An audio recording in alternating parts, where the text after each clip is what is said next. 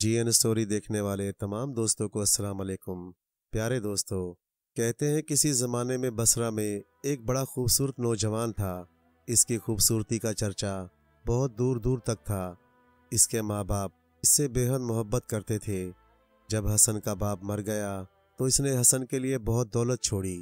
हसन ने कारोबार में कोई दिलचस्पी नहीं ली और चंद रोज़ में सारी दौलत फजूल खर्ची में ख़त्म कर दी। हसन की माँ ने बेटे को बहुत समझाया, लेकिन अब क्या हो सकता था? हसन की माँ के पास बहुत थोड़ा रुपया बच गया था। इसने हसन को समझा बुझाकर बाज़ार में एक सुनार की दुकान खुलवा दी। हसन की शोहरत दूर दूर तक फैल गई। जो कोई बाज़ार से गुजरता, उसकी नज़र हसन पर ज़रूर पड़ती। एक दिन जब हसन अपनी दुकान में बैठा हुआ काम कर रहा था तो इधर से एक अजनबी अपनी गाड़ी में गुजर रहा था। वो हसन को देखकर ठहर गया। इसकी बड़ी लंबी दाढ़ी थी। वो एक सफ़ेद पगड़ी बांधे हुए था। वो हसन की दुकान में दाखिल हुआ और बोला, ए नौजवान, तुमको देखकर मेरा दिल बहुत खुश हुआ। मेरा जी चाहता है कि मैं तुमको अपना बेटा बना लूँ और तुमको अपने वो काम सिखाऊं जो मैंने आज तक रास के तौर पर रखे हुए हैं। तुमको देखकर मेरा दिल बेख्तियार तुम्हारी तरफ़ खिंच रहा है। इसके बाद फिर तुमको ज़िंदगी में कोई काम करना नहीं पड़ेगा। घर बैठे हर चीज़ मिल जाएगी। हसन बोला, मेरे अच्छे चाचा, मैं इस लायक कहाँ कि आप मुझे अपना बेटा बना लें, लेकिन मेरे लिए इससे ज़्यादा खुशकिस्मती की बात क्या हो सकती है? अजनबी बोला, कल से मैं अपना फ़न सिखाना शुरू करूँगा। इस वक्त मुझे इजाज़त दो। ये कहकर वो चला गया। हसन ने जल्दी से दुकान बंद की और सीधा घर चला गया। इसने अपनी माँ से सारा हाल कह सुनाया। माँ बोली, बेटा परदेशियों पर इतना भरोसा करना ठीक नहीं। तुझको अपने काम से काम रखना चाहिए। मुझे यकीन है कि ये आदमी तुझे धोखा देगा। हसन बोला, माँ, वो बड़ा दौलतमंद आदमी है और सूरज से भी बड़ा शरीफ मालूम होता है। फिर ये भी कि हमारे पास ऐसी कौन सी दौलत है जो कोई आदमी हमको धोखा देगा। मुझे तो इस आदमी की अच्छाई में ज़रा सा भी शुबा नहीं है। हसन की माँ खुश हो गई। और हसन जल्दी जल्दी खाना खाकर सोने चला गया। सुबह को जब उसकी आँख खुली तो वो सीधा अपनी दुकान पर गया और परदेसी मुसाफिर का इंतज़ार करने लगा। ज़रा सी देर बाद वो आया। हसन ने बड़े अदब से उठकर उसे अदाब किया। परदेसी ने पूछा, बेटा, ये तो बताओ तुम्हारी शादी हुई है या नहीं? हसन ने कहा, मैंने शादी नहीं की। हालाँकि मेरी माँ बहुत चाहती है कि मैं जल्द से जल्द शादी कर लूँ। परदेसी बोला ये बड़ी अच्छी बात है, वरना फिर मैं तुमको अपना राज ना बताता। अब ये बताओ कि तुम्हारी दुकान में कुछ तांबा पीतल वगैरह भी है? हसन बोला हाँ ये सब चीज़ें मौजूद हैं। परदेसी बोला, पहले अपनी भट्टी जलाओ, इस पर एक थाली रखो और आग को तेज कर दो। इसके बाद तांबे के टुकड़े थाली पर रखो, जब तक वो पिघलने न लगे। हसन ने ऐसा ही किया, जब तांबा पिघलने लगा तो फिर परदेसी ने उस पर आहिस्ता आहिस्ता कुछ पढ़कर फूका और जेब से एक सफूफ की पुड़िया निकाली और ज़रा सा सफूफ छिड़क दिया। ज़रा सी देर में वो सोने की तरह चमकने लगा तो उसे भट्टी पर से हटा लिया। अब तो वो सचमुच का सोना था। परदेसी बोला, हसन, जाओ और जाकर इसे बाज़ार में बेच डालो। मुझे यकीन है कि तुमको असली सोने के दाम मिलेंगे, लेकिन इसका ज़िक्र किसी से ना करना। हसन ने जाकर उसे बाज़ार में बेचा तो वाकई दो हज़ार दिनार में बिक गया। अब तो हसन की खुशी का कोई ठिकाना ना था। हसन दौड़ा दौड़ा माँ के पास गया। वो भी इतने बहुत से रुपए देखकर बहुत खुश हुई। लेकिन जब उसको मालूम हुआ कि ये सब कुछ परदेसी ने किया है तो इसने कहा, बेटा, इस परदेसी से होशियार रहना। लेकिन हसन तो उस वक़्त बेहद खुश था। वो जल्दी जल्दी खाना लेकर दुकान की तरफ़ गया। और इसने परदेसी की खूब खातिर मदारत की और एक तांबे का बड़ा टुकड़ा दिखाकर कहा, चचा जान, इसे भी सोना बना दो। सुदागर बोला, बेटा, अब ज़्यादा जल्दी करने की ज़रूरत नहीं है। अगर अब और सोना लेकर बाज़ार में गए तो पकड़ लिए जाओगे। हसन बोला, ये तो तुम ठीक कहते हो, लेकिन मुझे जल्दी से सोना बनाना सिखा दो। सौदागर बोला, ये तुम क्या कह रहे हो? ये काम मैं तुमको बीच बाज़ार में सिखाऊं। अगर इसको सीखना चाहते हो तो अपना सामान लेकर आओ, मेरे साथ मेरे घर चलो। चुनाचा हसन इसके साथ हो लिया। जब हसन थोड़ी दूर गया तो उसे अपने माँ की बात याद आ गई, और वो झिझक कर रुक गया। परदेसी ये देख कर समझ गया कि हसन मेरे यहाँ जाने से डर रहा है। वो बोला, बेटा हसन, तुम मुझ पर भरोसा करो। जैसे मेरा घर, वैसे तुम्हारा घर। लेकिन अगर तुम कहो तो मैं तुम्हारे घर जाकर सिखाने के लिए तैयार हूँ। हसन ने ये बात मान ली और उसे लेकर अपने घर आया और माँ से कहा, आज वो परदेसी मेरा मेहमान रहेगा और हम लोग एक साथ खाना खाएँगे। अब तो इस परदेसी के बारे में तुम्हारा शक दूर हो जाना चाहिए। माँ ने कहा, बेटा, मुझे इस पर हरगिज भरोसा नहीं। तुम जो चाहो करो, मैं तुमसे कुछ नहीं कहती, लेकिन मैं खाना पकाकर पड़ोस में चली जाऊँगी। और जब तक ये आदमी इस घर में रहेगा, मैं हरगिज कदम नहीं रखूँगी। चुनाचा वो खाना पकाने के बाद पड़ोसी के यहाँ चली गई और इन दोनों ने खाना खाया। जब खाना खा चुके तो परदेसी ने और ज़्यादा सोना बनाया। अब तो हसन बहुत खुश हो गया। इसी दरमियान में परदेसी ने एक सफूफ की पुड़िया निकाली, उसे पानी में डालकर हसन को पिला दिया। उसका पीना था कि हसन बेहोश हो गया। परदेसी बहुत खुश हुआ। और बोला, आज बरसों के बाद मेरी आरज़ू पूरी हुई। ये कहकर इसने संदूक में हसन को डाला और जो कुछ घर में था, वो रखा और कुली के सर पर संदूक रखवा कर वहाँ से चला गया। समंदर के किनारे एक जहाज़ था, जो इनके इंतज़ार में था। इसमें संदूक और दूसरा सामान रखवाया। दरअसल ये परदेसी, बहराम जादूगर था और वो इस तरह के लड़कों को पकड़ पकड़ कर लाता था और अपना गुलाम बना लेता था। चुनाचा इसने हसन को भी अपने कब्जे में कर लिया और जहाज़ पर चल पड़ा। वो हर रोज दोनों वक्त संदूक खोलता और हसन को कुछ ना कुछ खिला पिलाकर फिर से संदूक बंद कर देता। आखिर वो एक छोटे से जजीरे में उतरा। यहाँ उतरकर बहराम जादूगर ने संदूक खोला, हसन को निकाला। हसन बड़ा डरा सहमा हुआ था। वो सोच रहा था कि मेरी माँ ठीक कहती थी, ये आदमी धोखेबाज था। लेकिन अब करता तो करता क्या करता? हसन ने आँखें खोलकर देखा तो वो समंदर का किनारा था। वहाँ पर रेत पर रंग बरंगे घूँगे पड़े थे। बहराम उसे वहाँ छोड़कर पास की एक छोटी सी पहाड़ी के पास जाकर बैठ गया और वहाँ से इतमान से बैठे बैठे हसन को देख रहा था। हसन की नज़र जो उस पर पड़ी तो हसन ने चीख कर कहा, तुमने मुझे अपना बेटा बनाया था। कोई आदमी अपने बेटे के साथ ये सलूक करता है? बहराम जादूगर ने कहका लगाया अरे, मैं बहराम जादूगर हूँ, मैं किसी का बाप नहीं, यही मेरा पेशा है। अब तुम मेरे कब्जे में हो, और तुम्हारी भलाई इसी में है कि जो मैं कहूँ वही करो। अपनी माँ को भूल जाओ, बसरे जाने का ख्याल दिल से निकाल दो। हसन को बहुत गुस्सा आया, वो चीखने लगा, धोखेबाज कमीने जलील। बहराम जादूगर ने कहा, अब अपना गुस्सा ख़त्म करो, ये जो सामने नुकीला पहाड़ नज़र आ रहा है ये बादलों का पहाड़ कहलाता है। आओ, इस पर चलें। मुझे यकीन है कि वहाँ जाकर तुम खुश हो जाओगे।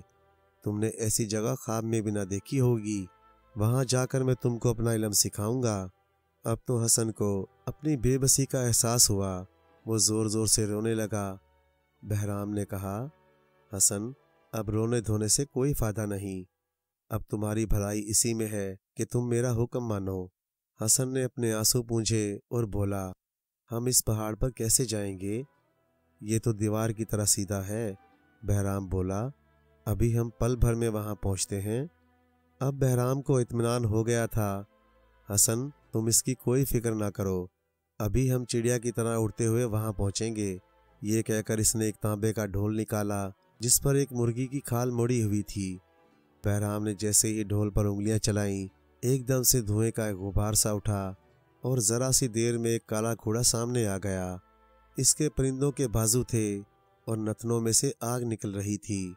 जादूगर घोड़े पर बैठ गया और इसने अपने पीछे हसन को बिठाया और इनके बैठते ही घोड़ा हवा में उड़ने लगा और पलक झपकते ही बादलों के पहाड़ पर पहुँच गया। जैसे ही वो पहाड़ पर पहुँचा, बहराम ज़ोर से चिल्लाया, बस, अब तुम मेरे गुलाम हो, मेरा हुक्म मानो हसन को बहुत गुस्सा आया। वो ढोल पर झपटा और बहराम को ज़ोर से लात मारी। अब ढोल तो हसन के हाथ में था और बहराम जादूगर लुढ़कता हुआ पहाड़ के नीचे जाकर एक चिटान पर गिरा और टुकड़े टुकड़े हो गया। अब जाकर हसन को इत्मीनान हुआ। इसने ढोल को गौर से देखा, लेकिन वो क्या जाने कि उसे कैसे इस्तेमाल करते हैं। इसलिए इसने ढोल को कमर से बांधा और इधर उधर देखने लगा। और क्या देखता है, कुछ दूर पर एक रोशनी सी हो रही थी, जैसे आग जल रही हो। इसने कहा, जहाँ आग होती है, वहाँ आदमी ज़रूर होता है। ये सोचकर वो इस तरफ़ पहुँचा, लेकिन वो आग नहीं थी, बल्कि एक सुनहरा गुंबद था, जो सूरज की रोशनी से चमक रहा था। इसने सोचा कि यहाँ कोई ना कोई ज़रूर रहता होगा। उसे बड़े ज़ोर से भूख लगी थी। ज़रूर कुछ ना कुछ यहाँ खाने को मिल जाएगा। ये सोचकर वो आगे बढ़ा तो ये एक महल था। महल देखकर इसकी जान में जान आई। इसने करीब जाकर देखा तो बड़ी खूबसूरत खूबसूरत लड़कियाँ संगे मरमर के पत्थरों पर बैठी थीं और शतरंज खेल रही थीं। इनमें से छोटी की नज़र एकदम से हसन पर पड़ी तो वो चौंक कर खड़ी हो गई और बोली, अरे बहन, देख तो ये कौन खूबसूरत जवान है? हो ना हो, ये उन बदनसीब नौजवानों में से है जिसे बहराम जादूगर धोखा देकर लाता है। और अपना गुलाम बना लेता है। लेकिन सवाल ये है कि ये शैतान के कब्जे से निकला तो कैसे निकला? ये सुनते ही हसन इनके कदमों पर गिर पड़ा और बोला, तुम सच कहती हो, मैं वही बदनसीब हूँ। हसन इस लड़की के कदमों पर पड़ा, ज़ोर कतार रो रहा था। उसे रोता देखकर इस लड़की पर बड़ा असर हुआ। इसने हसन को बिल्कुल एक भाई की तरह अपने हाथों से उठाया और उसे अंदर ले जाकर हमाम में नहलाकर अच्छे अच्छे कपड़े पहनाए। दोनों लड़कियाँ इससे बड़ी मोहब्बत से पेश आईं। उसे बहुत अच्छा अच्छा खाना खिलाया। फिर वही छोटी बहन बोली, भाई, अब तुम अपना नाम बताओ और ये बताओ कि यहाँ तक कैसे आए हो? मेरा नाम हसन है। किस्मत मुझे यहाँ लेकर आई है। इसके बाद इसने शुरू से आखिर तक सारा वाक्य सुना दिया। लड़कियाँ बोली, तुमने अच्छा किया जो इस शैतान का खात्मा कर दिया। वरना अभी तो ये न जाने कितनों को धोखा देता। तब बड़ी बहन बोली, गुलबर्ग, अपने भाई को अपने बारे में भी तो बता दो। गुलबर्ग बोली, मेरे अच्छे भाई, हम दोनों शहजादियाँ हैं। मेरा नाम गुलबर्ग है और मेरी बड़ी बहन का नाम गुलनार है। हमारी पाँच और बहनें भी हैं। हमसे भी ज़्यादा खूबसूरत। मेरा बाप जिनों का बादशाह है। ये बड़ा जालिम है। वो नहीं चाहता कि हम में से किसी की शादी हो। इसलिए एक दिन इसने अपने वज़ीर को बुलाकर कहा, क्या तुम कोई ऐसी जगह जानते हो, जहाँ किसी इंसान का गुजर ना हो, ताकि मैं वहाँ अपनी सातों शहजादियों को रख सकूँ। वज़ीर बोला, जहाँ पना, अब ये बड़ी हो गई हैं, इनकी शादियाँ कर दीजिए, ताकि ये अपने घर बार की हो जाएँ और आपकी ज़िम्मेदारी कम हो इस पर बादशाह नाराज़ हो गया और इसने कहा, मैं अपनी लड़कियों की शादी नहीं करूँगा, मैं तो इनको जान से मारना पसंद करूँगा बजाय इसके कि इनकी शादी करूँ। अगर तुम मुझे अभी इसी वक्त किसी जगह का पता नहीं बताते तो मैं तुमको भी जान से मार डालूँगा। वज़ीर बोला, बादशाह सलामत, बादलों का पहाड़ ही एक ऐसी जगह है, जहाँ कोई नहीं पहुँच सकता। अगर आप हुक्म दें तो मैं शहजादियों के लिए एक बड़ा शानदार महल बनवा दूँ, और फिर ये सब वहाँ आराम से रहेंगी। और उसके बाद महल बन गया, और हम लोग यहाँ आकर रहने लगे। और तब से इसी महल में हैं। तुम पहले इंसान हो, जो यहाँ दाखिल हुए हो। यहाँ का मौसम बहुत अच्छा है। हर तरफ़ हरियाली है। बड़ी खूबसूरत जगह है। हमें तो ये जगह बहुत पसंद है। बस अगर कोई कमी है तो यही है कि आदमी की सूरत देखने को तरस गए हैं। आज तुमको देखकर इतना दिल खुश हुआ कि हम बयान नहीं कर सकते। जरा सी देर बाद पाँच दूसरी बहनें भी आ गईं। वो भी हसन को देखकर बहुत खुश हुई और कहने लगी कि अब तुम हमारे साथ रहो, हम तुमको कोई तकलीफ़ नहीं होने देंगे। अब हसन खुश खुश वहाँ रहने लगा। दिन भर इन तमाम शहजादियों के साथ सैर तफरी करता, हँसी मज़ाक की बातें होती, सबका जी लगा रहता। वो दिल में बहुत खुश था कि इसको इतनी अच्छी प्यारी बहनें मिली। वो उसे जिनों और परियों के किस्से सुनाती और हसन इनको बसरा के लोगों के बारे में बताता। हसन सबसे बहुत मोहब्बत करता था और ख़ास तौर पर गुलबर्ग से, जो हर वक्त उसका ख्याल रखती और हसन को ज़रा सी भी तकलीफ़ ना होने देती। एक रोज़ हसन और सातों शहजादियाँ एक साथ बैठी थीं। गाना बजाना हो रहा था कि एकदम से आसमान पर एक आंधी सी उठी। फिर ऐसा महसूस हुआ जैसे बादल गरज रहे हों। सातों शहजादियों ने हसन से कहा, भाई, तुम जल्दी से बाग में छुप जाओ गुलबर्ग ने जल्दी से इसको बाग के कोने में छुपा दिया। जरा सी देर बाद आंधी का ज़ोर कम हुआ और बहुत से जिन आए और उन्होंने शहजादियों से कहा, बादशाह सलामत, एक बड़ी शानदार दावत कर रहे हैं और आपको बुलाया है। जब गुलबर्ग ने यह बात सुनी तो हसन के पास जाकर बहुत रोई और उससे बोली, मेरे भाई, अब हम लोग जा रहे हैं, कुछ दिन बाद वापस आएँगे। बादशाह का हुक्म टाला नहीं जा सकता। तुम ये कुंजियों का गुच्छा लो। इनमें हर कमरे की कुंजियाँ हैं। तुम हर कमरा खोलकर इस्तेमाल कर सकते हो। अलबत्ता उस कमरे को मत खोलना, जिसकी ये कुंजी है। तुम यहीं रहना, यही तुम्हारा महल है। ये कहकर गुलबर्ग ने हसन को कुंजियों का गुच्छा दे दिया। इसने हसन को खूब अच्छी तरह उस कुंजी को दिखाया। हसन ने वादा किया और कहा, तुम बड़े इतमान से जाओ। यहाँ रहकर मैं तुम्हारा इंतज़ार करूँगा। और जिस कमरे को तुमने मना किया है, मैं उसको हरगिज़ नहीं खोलूँगा। दूसरी बहनें आईं और बड़ी मोहब्बत से हसन से मिलीं और उससे रुखसत हो गईं। फिर ज़रा सी देर के बाद सातों बहनें जिनों के साथ अपने बाप के पास चली गईं। इनके जाने के बाद हसन का जी बहुत घबराया। जब रात हो गई, उसने कुंजियों का गुच्छा उठाया और एक एक कमरा देखना शुरू किया। इन कमरों की शान शौकत देखकर वो सख्त हैरान हुआ। ऐसा ऐसा सामान मौजूद था, जो उसके वहम और गुमान में भी नहीं था। जब इन तमाम कमरों को देख चुका तो उसकी नज़र उस कमरे पर पड़ी, जिसको गुलबर्ग ने खोलने से मना कर दिया था। इसने दिल में सोचा, कि आखिर क्या बात है, कि गुलबर्ग ने सिर्फ़ इस कमरे को देखने के लिए मना क्यों किया? मैं इसको भी देखूँगा, चाहे कुछ भी हो जाए। इसने रोशनी की और सीधा इस कमरे की तरफ़ बढ़ा। इसने ताले में कुंजी लगाई कुंजी के लगते ही एकदम से दरवाज़ा खुल गया। हसन इसमें दाखिल हो गया, लेकिन यह कमरा तो बिल्कुल खाली था। इसमें ना कोई कुर्सी थी ना कोई मेज। हसन ने गौर से देखा तो इसमें एक सीढ़ी लगी हुई थी, जो ऊपर से एक बड़े हॉल के अंदर दाखिल हो गई। हसन ने तेज़ी से सीढ़ियाँ चढ़ना शुरू किया। यहाँ तक कि वो छत के ऊपर पहुँच गया। यहाँ तो बहुत बड़ी खुली फिजा थी। छत पर उसे बड़ा खूबसूरत मैदान नज़र आया। यहाँ चाँद की रोशनी कुछ इस तरह से नज़र आ रही थी जैसे दिन निकला हो। इसने इतना खूबसूरत मंजर इससे पहले कभी नहीं देखा था। दानी तरफ़ एक खूबसूरत नहर बह रही थी, जिसकी दोनों तरफ़ फूलों की बड़ी बड़ी खूबसूरत क्यारियाँ थीं। नहर के साथ मिला हुआ एक संगे मरमर का महल था। महल से उतरती हुई सीढ़ियाँ नहर तक आती थीं, जहाँ एक तख्त बिछा हुआ था। इस तख्त पर हीरे जवाहरात जड़े हुए थे। शायद ही किसी बादशाह को कभी ऐसा तख्त नसीब हुआ हो। अभी हसन ये मंजर देख रहा था कि एकदम से क्या देखता है कि बड़े बड़े परिंदों का झुंड चला आ रहा है। ये कुल मिलाकर दस थे। ये सब नहर के किनारे उतर गए। इनके परों की रंगत हीरे और जवाहरात से मिलती जुलती थी। ये तमाम परिंदे तख्त की जानी बढ़ने लगे। इनमें सबसे आगे जो परिंदा था, वो सबसे खूबसूरत परिंदा था। और ऐसा मालूम होता था कि जैसे सब इसका हुक्म मानते थे, एकदम से उन्होंने अपने पर फड़फड़ाए और अपने परों को इस तरह उतार दिया जैसे कोई कपड़ा उतारता हो। हसन ये देखकर हैरान रह गया कि ये तो बहुत खूबसूरत लड़कियाँ थीं, जो परिंदों का लिबास पहने हुए थीं। ऐसा लगता था कि जैसे चाँद ने लड़कियों की शक्ल इख्तियार कर ली है। ये लड़कियाँ पानी में कूद पड़ी और तैरने लगीं। ये देर तक पानी में तैरती और खेलती रहीं। फिर सबसे बड़ी लड़की ने इशारा किया और वो सब बाहर आ गईं। अब ये लड़की तख्त पर जाकर बैठ गई। हसन ने इतनी खूबसूरत लड़की पहले कभी ना देखी थी। वो तो इस लड़की को बस देखता रहा। थोड़ी देर तक तो उसे ये भी होश ना रहा कि वो कहाँ है।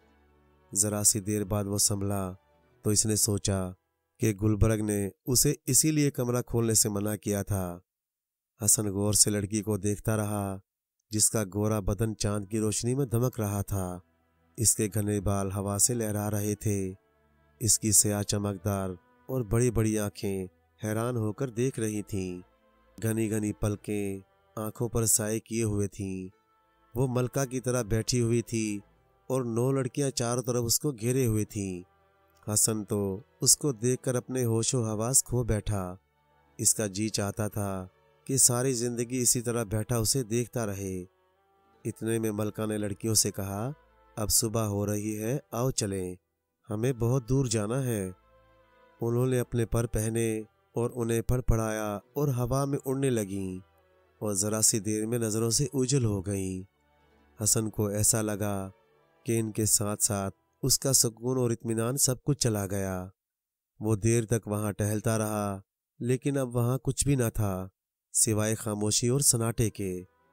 हसन नीचे उतरा और चुपचाप अपने बिस्तर पर जाकर लेट गया। सारी रात करवटें बदलता रहा। जब आँख बंद करता, वही शक्ल सामने आ जाती। अब वो हर रोज रात को सीढ़ी पर चढ़ता, मगर वो परिंदे कहीं नज़र ना आते। इसी तरह कई दिन और कई रातें गुजर गईं। इनका कहीं पता ना था। हसन ने खाना पीना सब कुछ छोड़ दिया। इसी तरह कई और दिन गुजर गए। एक दिन शहजादियाँ वापस आ गईं।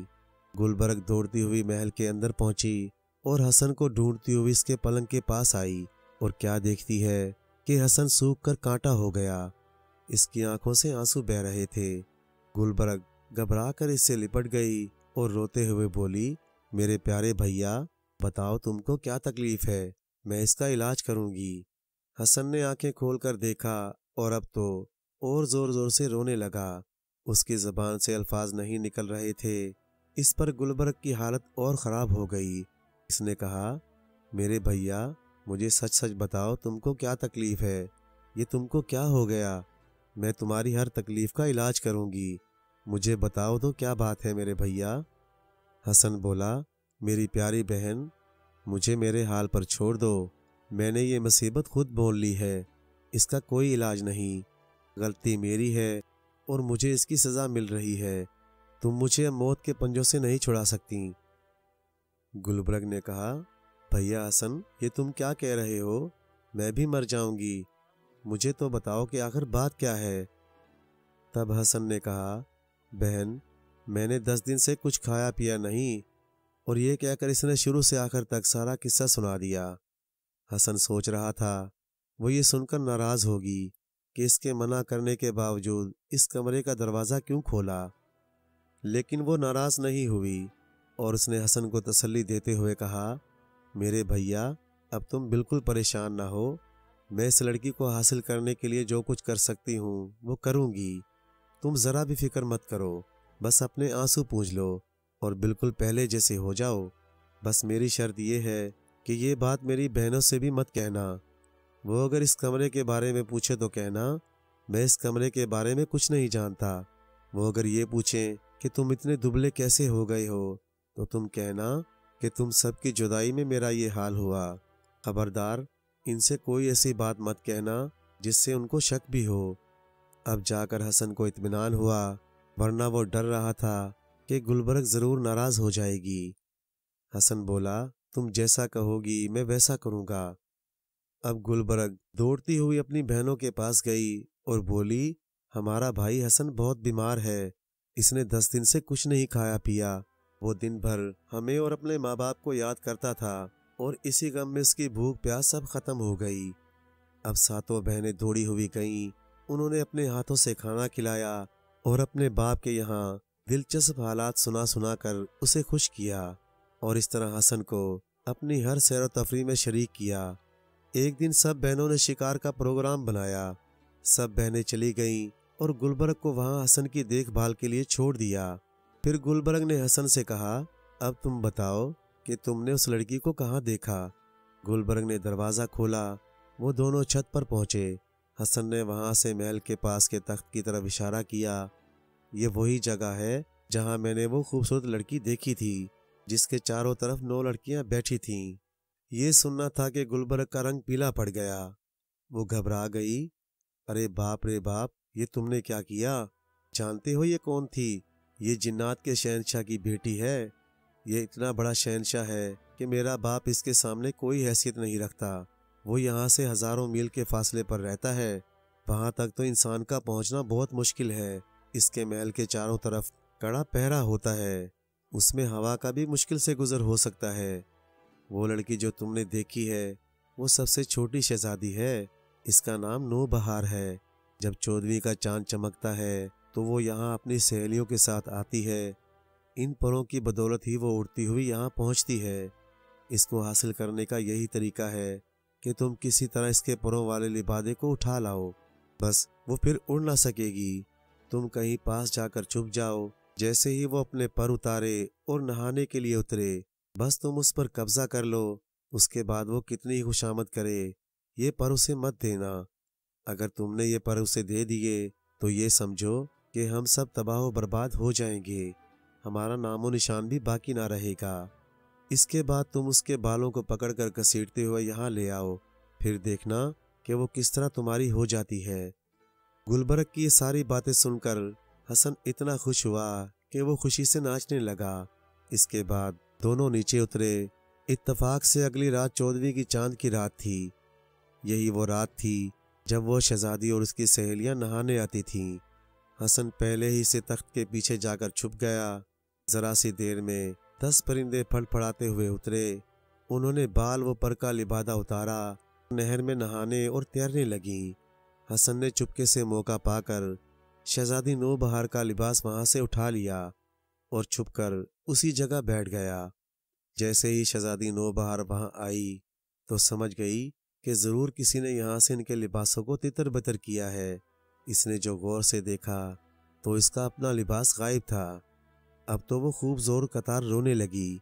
इसकी सहेलियों ने जो ये हाल देखा तो उन्होंने जल्दी से अपने अपने लिबादे उठाए और उन्हें पहनकर परिंदों की शक्ल इख्तियार की और फिजा में ये जा और वो जा। जरा सी देर में नज़रों से उजल हो गई। बेचारी शहजादी वहाँ अकेली रह गई। अब हसन बाहर निकल आया। उसे देखकर शहजादी इसी हालत में भागने लगी। इसके बाल हवा में फड़फड़ा रहे थे। हसन ने बहुत रोकना चाहा, मगर वो भागती चली गई। आखिर हसन ने इसका पीछा किया और आखिर में झपट कर इसके बालों को पकड़ लिया और उसे खींचता हुआ अपने महल में ले आया। यहाँ आकर भी वो इसी तरह रोती चीखती रही। इतने में गुलबर्ग आ गई और शहजादी के कदमों में गिर पड़ी और बोली, शहजादी, ये हमारी किस्मत है कि आज आपके आने से हमारा महल जगमगा रहा है। शहजादी नो बहार ने जो नज़र उठाकर देखा तो गुलबर्ग को पहचान गई और बोली, अरे, ये तुम हो गुलबर्ग? ये सब कुछ तुम्हारा किया हुआ है। तुमको मालूम है कि मेरा बाप कैसा है? जरा सी देर में तुम्हारा नामो निशान मिटा देगा। तुमने एक इंसान को अपने महल में जगह दी है। अगर तुमने मदद ना की होती तो ये आदमी नहर तक नहीं पहुँच सकता था। तब गुलबर्ग ने कहा शहजादी नो बहार, मैं जानती हूँ कि औरतों में तुम्हारी खूबसूरती का कोई मुकाबला नहीं कर सकता, लेकिन ये नौजवान भी ऐसा है, जिसका जवाब मर्दों में नहीं। इसकी नीयत हरगिज़ ये नहीं थी कि ये तुमको नुकसान पहुँचाए। बस ये तो तुम्हारी मोहब्बत का मारा था। इसलिए बेकसूर है। इसने जिस दिन से तुमको देखा था, इसके होशो हवास जाते रहे। इसने तुम्हारी सहेलियों में से बस तुमको पसंद किया था। नो बहार ने जब ये सुना तो खामोश हो गई और बेबसी से हसन को देखने लगी। अब गुलबर्ग ने जल्दी से बड़ा खूबसूरत लिबास पहनाया और उसके खाने के लिए इंतज़ाम किया। जब वो खाना खा चुकी तो बोली, शायद मेरी किस्मत में यही लिखा था। मैं इस तरह अपने माँ बाप से बिछड़ जाऊँ। अब तो तकदीर के सामने हथियार डालने के अलावा कोई चारा नहीं। अब गुलबर्ग हसन के पास गई और बोली, भैया, तुम अब नो बहार के पास जाओ। सबसे पहले इसके कदमों को छुओ और इसके बाद उससे बात करना। हसन बड़ी तेज़ी से नो बहार के कमरे में गया। इसने वैसा ही किया, जैसा गुलबर्ग ने कहा था। ए मेरी मलका, मुझसे नाराज़ मत हो। मेरे ऊपर रहम करो। मैं तुमको किसी किस्म की तकलीफ़ नहीं पहुंचाना चाहता। मैं तुमसे शादी करूँगा और अपने वतन बसरे ले जाऊँगा। वहाँ मेरी एक बहुत अच्छी सी माँ है, जो तुम्हारे साथ बेटियों जैसा सलूक करेगी। मेरे घर में ऐशो आराम का सारा इंतज़ाम है और तुमको एक से एक अच्छा खाना खिलाऊँगा। लेकिन शहजादी नो बहार की ज़बान से एक लफ्ज़ भी नहीं निकला। इतने में किसी ने दरवाज़ा खटखटाया। हसन ने आगे बढ़कर दरवाज़ा खोला तो छह बहनों को पाया, जो शिकार से वापस आ गई थी। इनके साथ वो शिकार था, जिसे वो मारकर लाई थी। हसन इनको देखकर मारे खुशी के नाचने लगा। वो भी हसन को इतना खुश होता देखकर बहुत खुश हुई। उन्होंने देखा कि हसन का चेहरा दमक रहा है। वो फिर पहले जैसा हो गया। वो सोचने लगी कि ज़रूर कोई बात है जो हसन आज इतना खुश है। इतने में गुलबर्ग आई और बोली, अरे मैं तुमको असल बात बताऊँ, हमारे भैया ने एक चिड़िया पाली है, तुम उसे किस तरह ऐसा कर लो कि वो हमारी बात समझने लगे? बहनें बोली, इसमें क्या खास बात है जो हसन इतना शर्मा रहा है? गुलबर्ग ने कहा, बहन, वो तो इतना इसलिए शर्मा रहा है कि उसे चिड़िया से मोहब्बत हो गई है। बहनें बोली, इसमें शर्माने की क्या बात है? गुलबर्ग ने कहा, इधर आओ, मैं बताऊँ। जब हम लोग यहाँ से गए थे तो हसन को तमाम कमरों की कुंजियाँ दे गए थे और मना कर दिया था कि ये खाली कमरा मत खोलना। इत्तफाक की बात है कि उसे वो कमरा याद नहीं रहा और इसने गलती से वो कमरा खोल लिया और ये कहकर गुलबर्ग ने सारा किस्सा अपनी सारी बहनों को सुना दिया। खैर, जो कुछ हुआ, इसमें हसन का कसूर नहीं, अलबत्ता हमारे भाई की पसंद बहुत अच्छी है। इसके बाद उन्होंने कहा अगर ये बात है तो हम भी इसकी खूबसूरती को अपनी आँखों से देखेंगे। हसन और गुलबर्ग उन्हें लेकर इस कमरे में गए, जहाँ शहजादी नो बाहर बैठी थी। शहजादी को देखकर तो उनकी आँखें फटी की फटी रह गईं। उनको ऐसा महसूस हुआ, जैसे कमरे में चाँद जगमगा रहा है। अब तो वो बहुत खुश हुई और बोली, शहजादी मुबारक हो, हमारा भाई सचमुच तुम्हारे लायक है। इतना खूबसूरत और ऐसा प्यारा और भोला नेक आदमी इंसानों की बिरादरी में मुश्किल से मिलता है। हमें यकीन है कि तुम ज़िंदगी भर बड़े मज़े करोगी। आओ, हम अल्लाह का नाम लेकर तुम दोनों की शादी कर दें।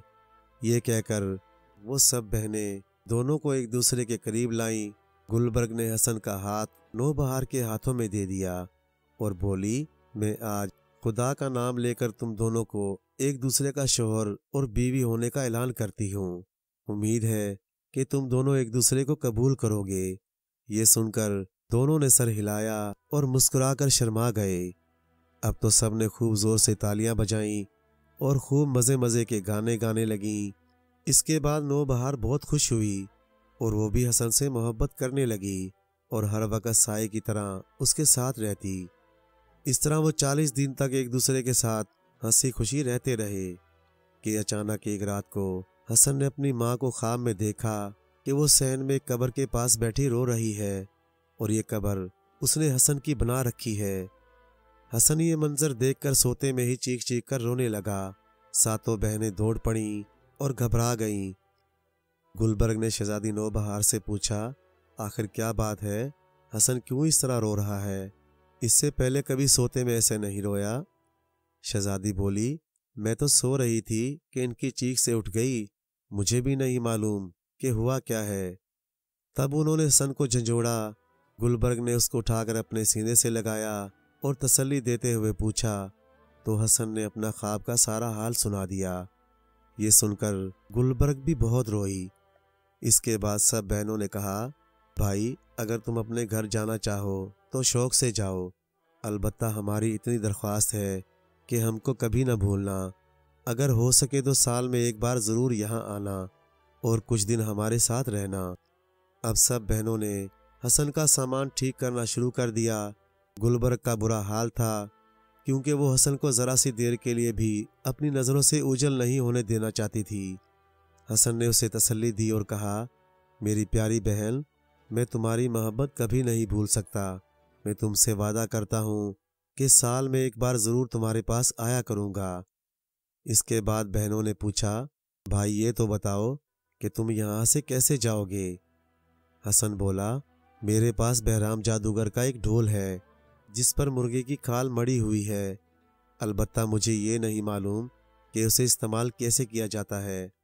हसन ने वो ढोल लाकर दिखाया और गुलबर्ग ने उसे अपनी गोद में लेकर हाथों के इशारों से बताया कि किस तरह उसको बजाया जाता है। हसन ने ऐसा ही किया जैसे ही इसने ढोल बजाया, देखते क्या है कि बहुत से घोड़े, ऊँट और खच्चर एक कतार में आकर खड़े हो गए।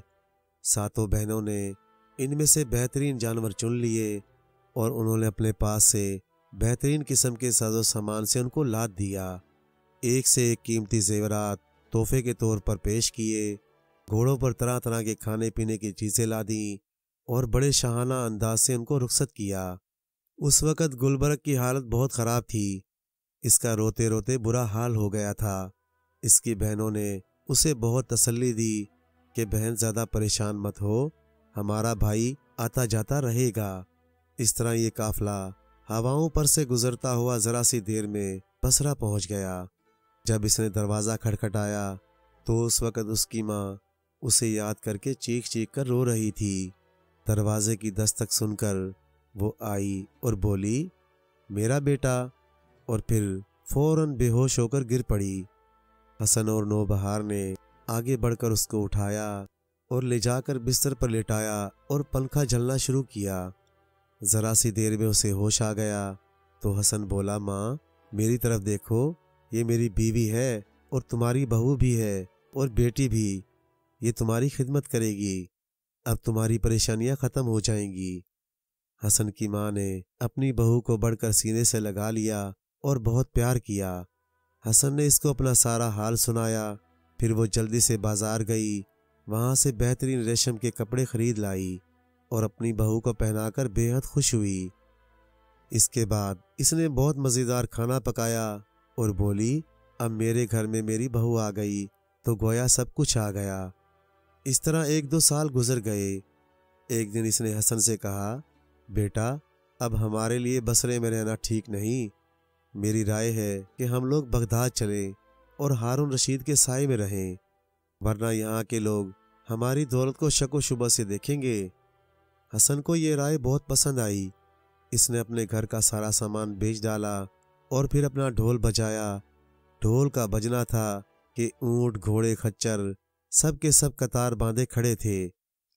हसन ने इनमें से अच्छे अच्छे जानवरों को लिया बाकियों को रुखसत किया और फिर वहाँ से ज़रूरी सामान लाद कर माँ और बीवी के साथ बगदाद को रवाना हो गया।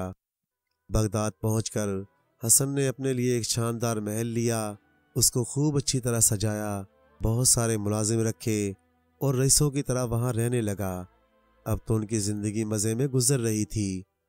शहजादी नौबहार बेहद खुश थी। एक दिन इनके यहाँ दो बड़े खूबसूरत जुड़वा बच्चे पैदा हुए। हसन ने इनके नाम मंसूर और नासिर रखा। इस तरह उन्हें बगदाद में रहते एक साल हो गया। एक दिन हसन को अपनी वो सातों बहनें याद आईं। गुलबर्ग से अपना वादा याद आया। इसने बाज़ार से जाकर तरह तरह के कीमती तोहफे खरीदे और माँ से बोला, मैं चंद रोज़ के लिए अपनी बहनों से मिलने जा रहा हूँ। तुम नो बहार का ख्याल रखना। कहीं ऐसा ना हो कि वो घर से बाहर चली जाए। घर की तमाम खिड़कियाँ बंद रखना। कोठे पर भी मत चढ़ने देना। और एक ख़ास बात बताऊँ, इस मकान की पिछली कोठड़ी में रंगीन परों का एक लिबास है। इसे किसी तरह भी नौबहार को मत दिखाना। कहीं ऐसा ना हो, इसको देखकर वो फिर परिंदा बनने की ख्वाहिश करे। अगर ऐसा हुआ तो गोया मेरी ज़िंदगी तबाह हो जाएगी। तुम मुझे हरगिज ज़िंदा ना देख पाओगी।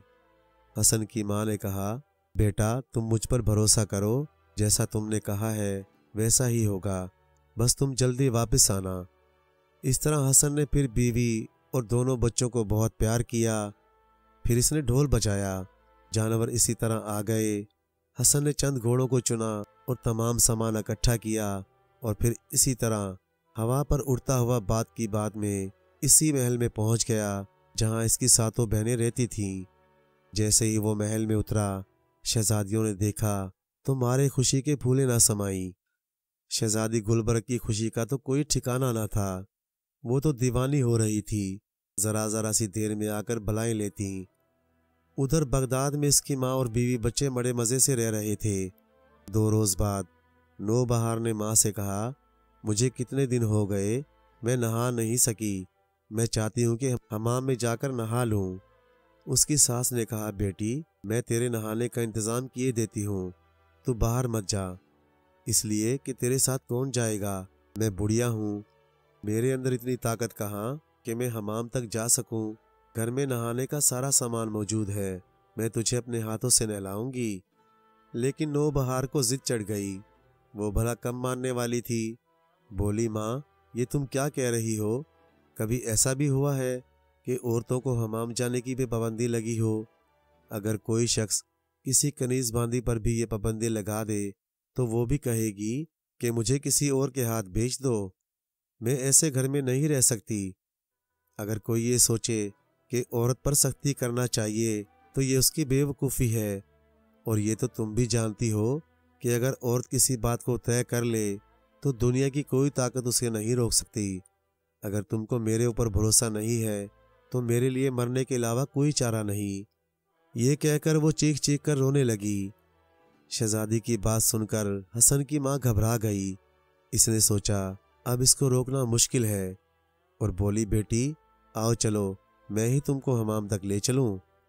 इसके बाद वो उसे हमाम में ले गई। जब वो हमाम में दाखिल हुई तो हमाम की तमाम औरतें बोझका रह गईं। उन्होंने इतनी खूबसूरत औरत इससे पहले कभी नहीं देखी थी। जब वो नहाने के लिए हमाम में उतरी तो सारा हमाम जगमगाने लगा। हर तरफ़ शोर मच गया और ज़रा सी देर में उसे देखने के लिए एक भीड़ लग गई, क्योंकि इससे पहले ऐसी औरत यहाँ नहीं आई थी। इन औरतों में खलीफा हारून रशीद की मलका, जुबैदा की एक लोंडी भी थी। इसने जो ये देखा तो दंग रह गई। जब नहाने के बाद नौबहार अपनी सास के साथ वापस जाने लगी तो ये लोंडी भी इनके पीछे पीछे घर तक आ गई। लेकिन हसन के घर पर पहरा देखकर इसके अंदर जाने की हिम्मत ना हुई। और वो वापस महल में आ गई।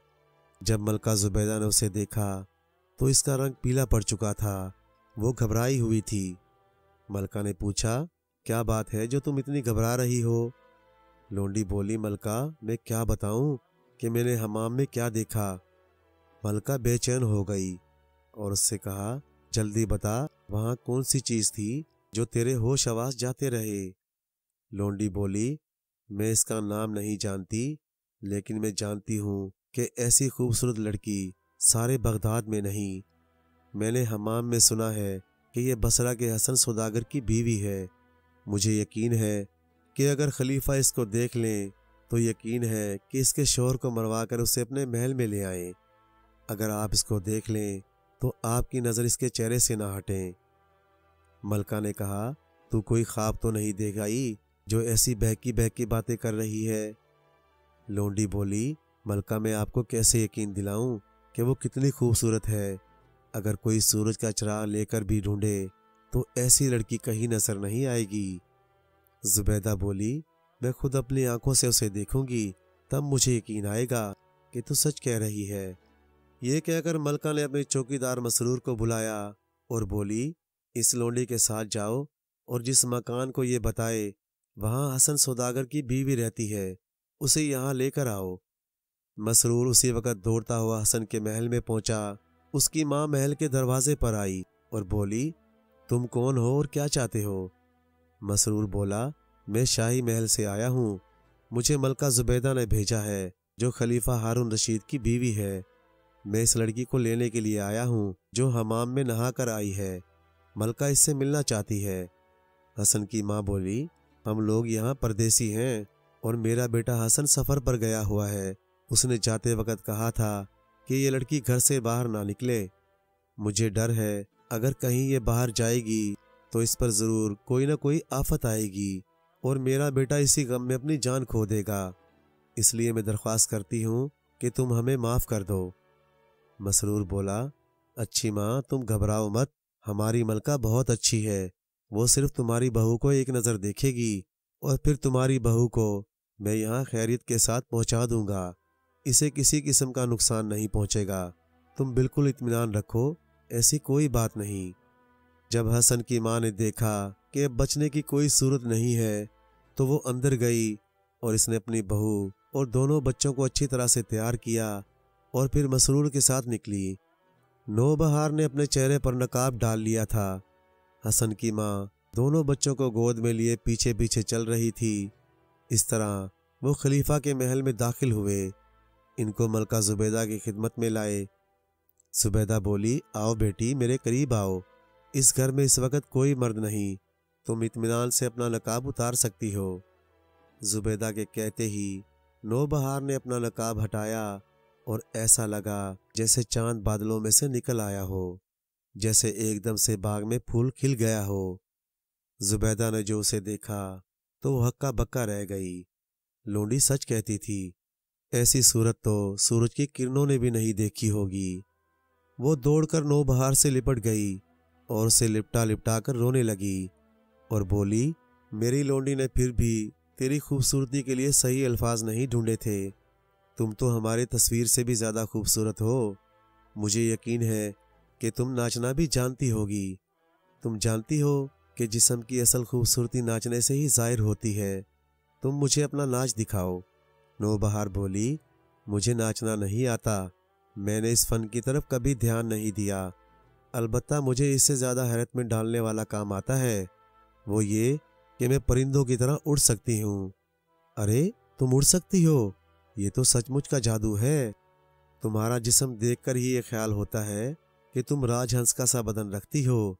मैं ये तमाशा ज़रूर देखूँगी, बगैर परों के कैसे उड़ा जाता है? मलका ने हैरत से जवाब दिया, नौबहार बोली, बगैर परों के नहीं, मेरे पास पर नहीं है, ये पर मेरी सास के पास रखे हैं, अगर वो पर मुझे दे दे तो मैं उड़कर दिखाऊँ। ये सुनकर तो बुढ़िया कांपने लगी, ये सब कुछ क्या हो गया? मलका जुबेदा बोली, बड़ी भी, जल्दी से वो परों का लिबादा ले आओ, ताकि हम सब ये खेल देखें। हसन की माँ बोली, मलका, ये लड़की आपका रोप देखकर घबरा गई है और बहकी बहकी बातें कर रही है, वरना कहीं आपने भी सुना है कि कोई इंसान हवा में उड़ सकता है। अल्लाह ने सिर्फ़ ये ताकत परिंदों को दी है। लेकिन नो बहार बोली, मैं अपनी जान की कसम खाकर कहती हूँ कि मलका साहिबा, मेरे वो पर महल के कमरे में बंद हैं। जुबैदा ने फ़ौरन अपने हाथों से सोने का एक जड़ाव कंगन उतारकर बुढ़िया को देकर कहा, बड़ी भी जाओ जाकर किसी तरह वो लिबादा लेकर आओ, मैं इसे देखकर तुमको जू का तू वापस कर दूँगी। लेकिन बुढ़िया, इसके लिए फिर भी तैयार ना हुई। तब मलका ने मसरूर को बुलाया और उससे बोली कि जाओ, हसन के महल की तलाशी लो और जहाँ कहीं भी वो अजीब गरीब लिबादा हो, उसे यहाँ लेकर आओ। मलका ने बुढ़िया से इसके महल की कुंजियाँ लेकर मसरूर के हवाले कर दी। मसरूर ने सारे महल की तलाशी ली और आखिर एक कोठड़ी में वो लिबादा उसे मिल गया, जो एक संदूक में रखा हुआ था। मसरूर ने उसे लाकर मलका के सामने डाल दिया। मलका ने उसे गौर से देखा और उसे लेकर नौबहार को दे दिया। नौबहार ने उसे अच्छी तरह देखा और जब उसे इत्मीनान हो गया तो इसने बड़ी एहतियात से ओढ़ा। जैसे ही उसे ओढ़ा तो ऐसा लगा जैसे वो इंसान ना हो, बल्कि एक सफ़ेद परिंदा हो। इसने अपने दोनों बच्चों को अपने कंधों पर बिठाया और अपने पर फड़फड़ाए और एक लम्हे में ये जा और वो जा। हवा में उड़ने लगी और हवा में उड़ते उड़ते चिल्लाई, खुदा हाफिज, मैं जा रही हूँ हमेशा के लिए और याद रखो, जाने वाले कभी नहीं आते। जुबैदा ने कहा नो बहार वापिस आ जाओ। नो बहार ने उड़ते हुए अपनी सास से कहा, मेरी प्यारी माँ मैं जा रही हूँ और मेरा जाना तुम्हारे लिए बहुत तकलीफ़ दे होगा। लेकिन क्या करूँ? मैं इस लिबादे को ओढ़ने के बाद काबू में नहीं रहती। मैं जानती हूँ कि ये खबर सुनकर हसन का कितना बुरा हाल होगा।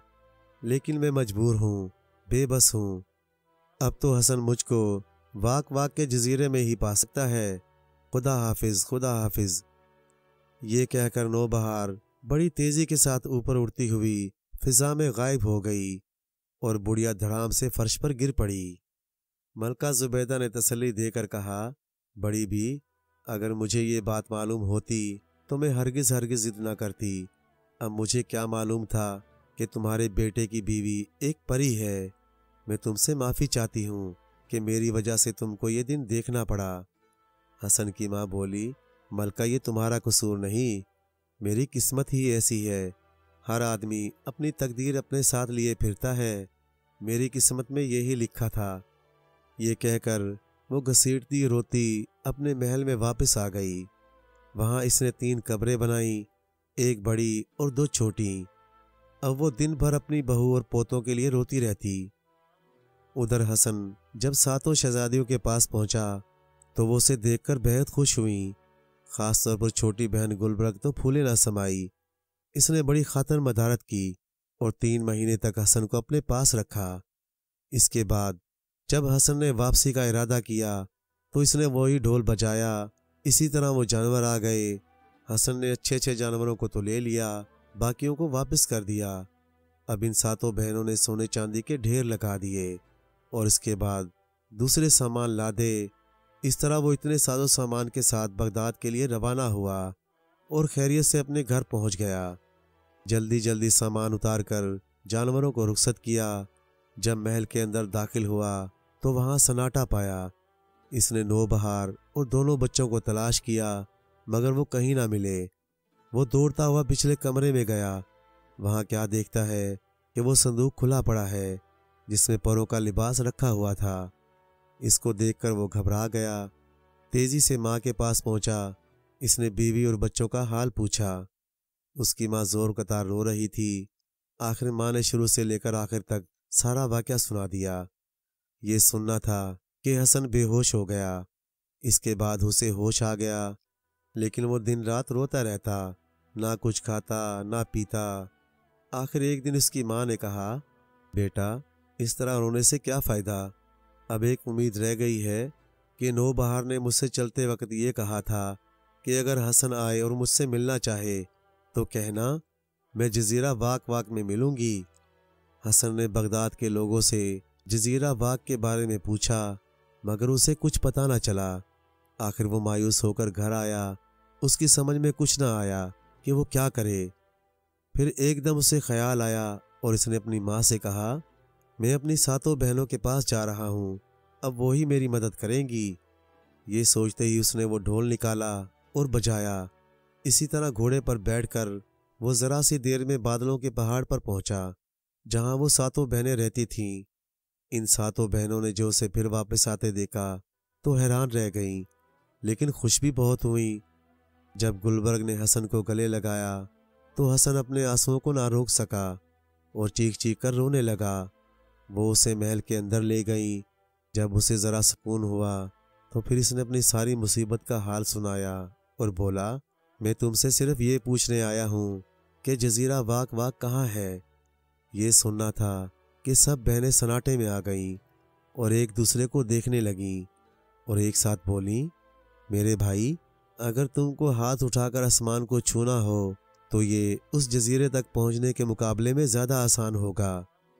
अब तो हसन की हालत और ख़राब हो गई और इसकी आँखों से आंसुओं की नदियाँ बहने लगीं।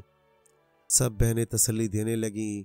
तब गुलबर्ग ने कहा, मेरे भाई, सबर करो। अल्लाह ने चाहा तो कोई ना कोई रास्ता ज़रूर निकलेगा तुम अपने आँसू पूछो। मैं तुम्हारे लिए कुछ ना कुछ करूँगी और तुमको तुम्हारे बच्चों से मिलाकर दम लूँगी। मुझे तो अब ये ख्याल आ रहा है, परों के इस लिबास को मैंने उस वक़्त जला क्यों ना दिया? सारी मुसीबत उसी की लाई हुई है। लेकिन तकदीर का लिखा कौन मिटा सकता है?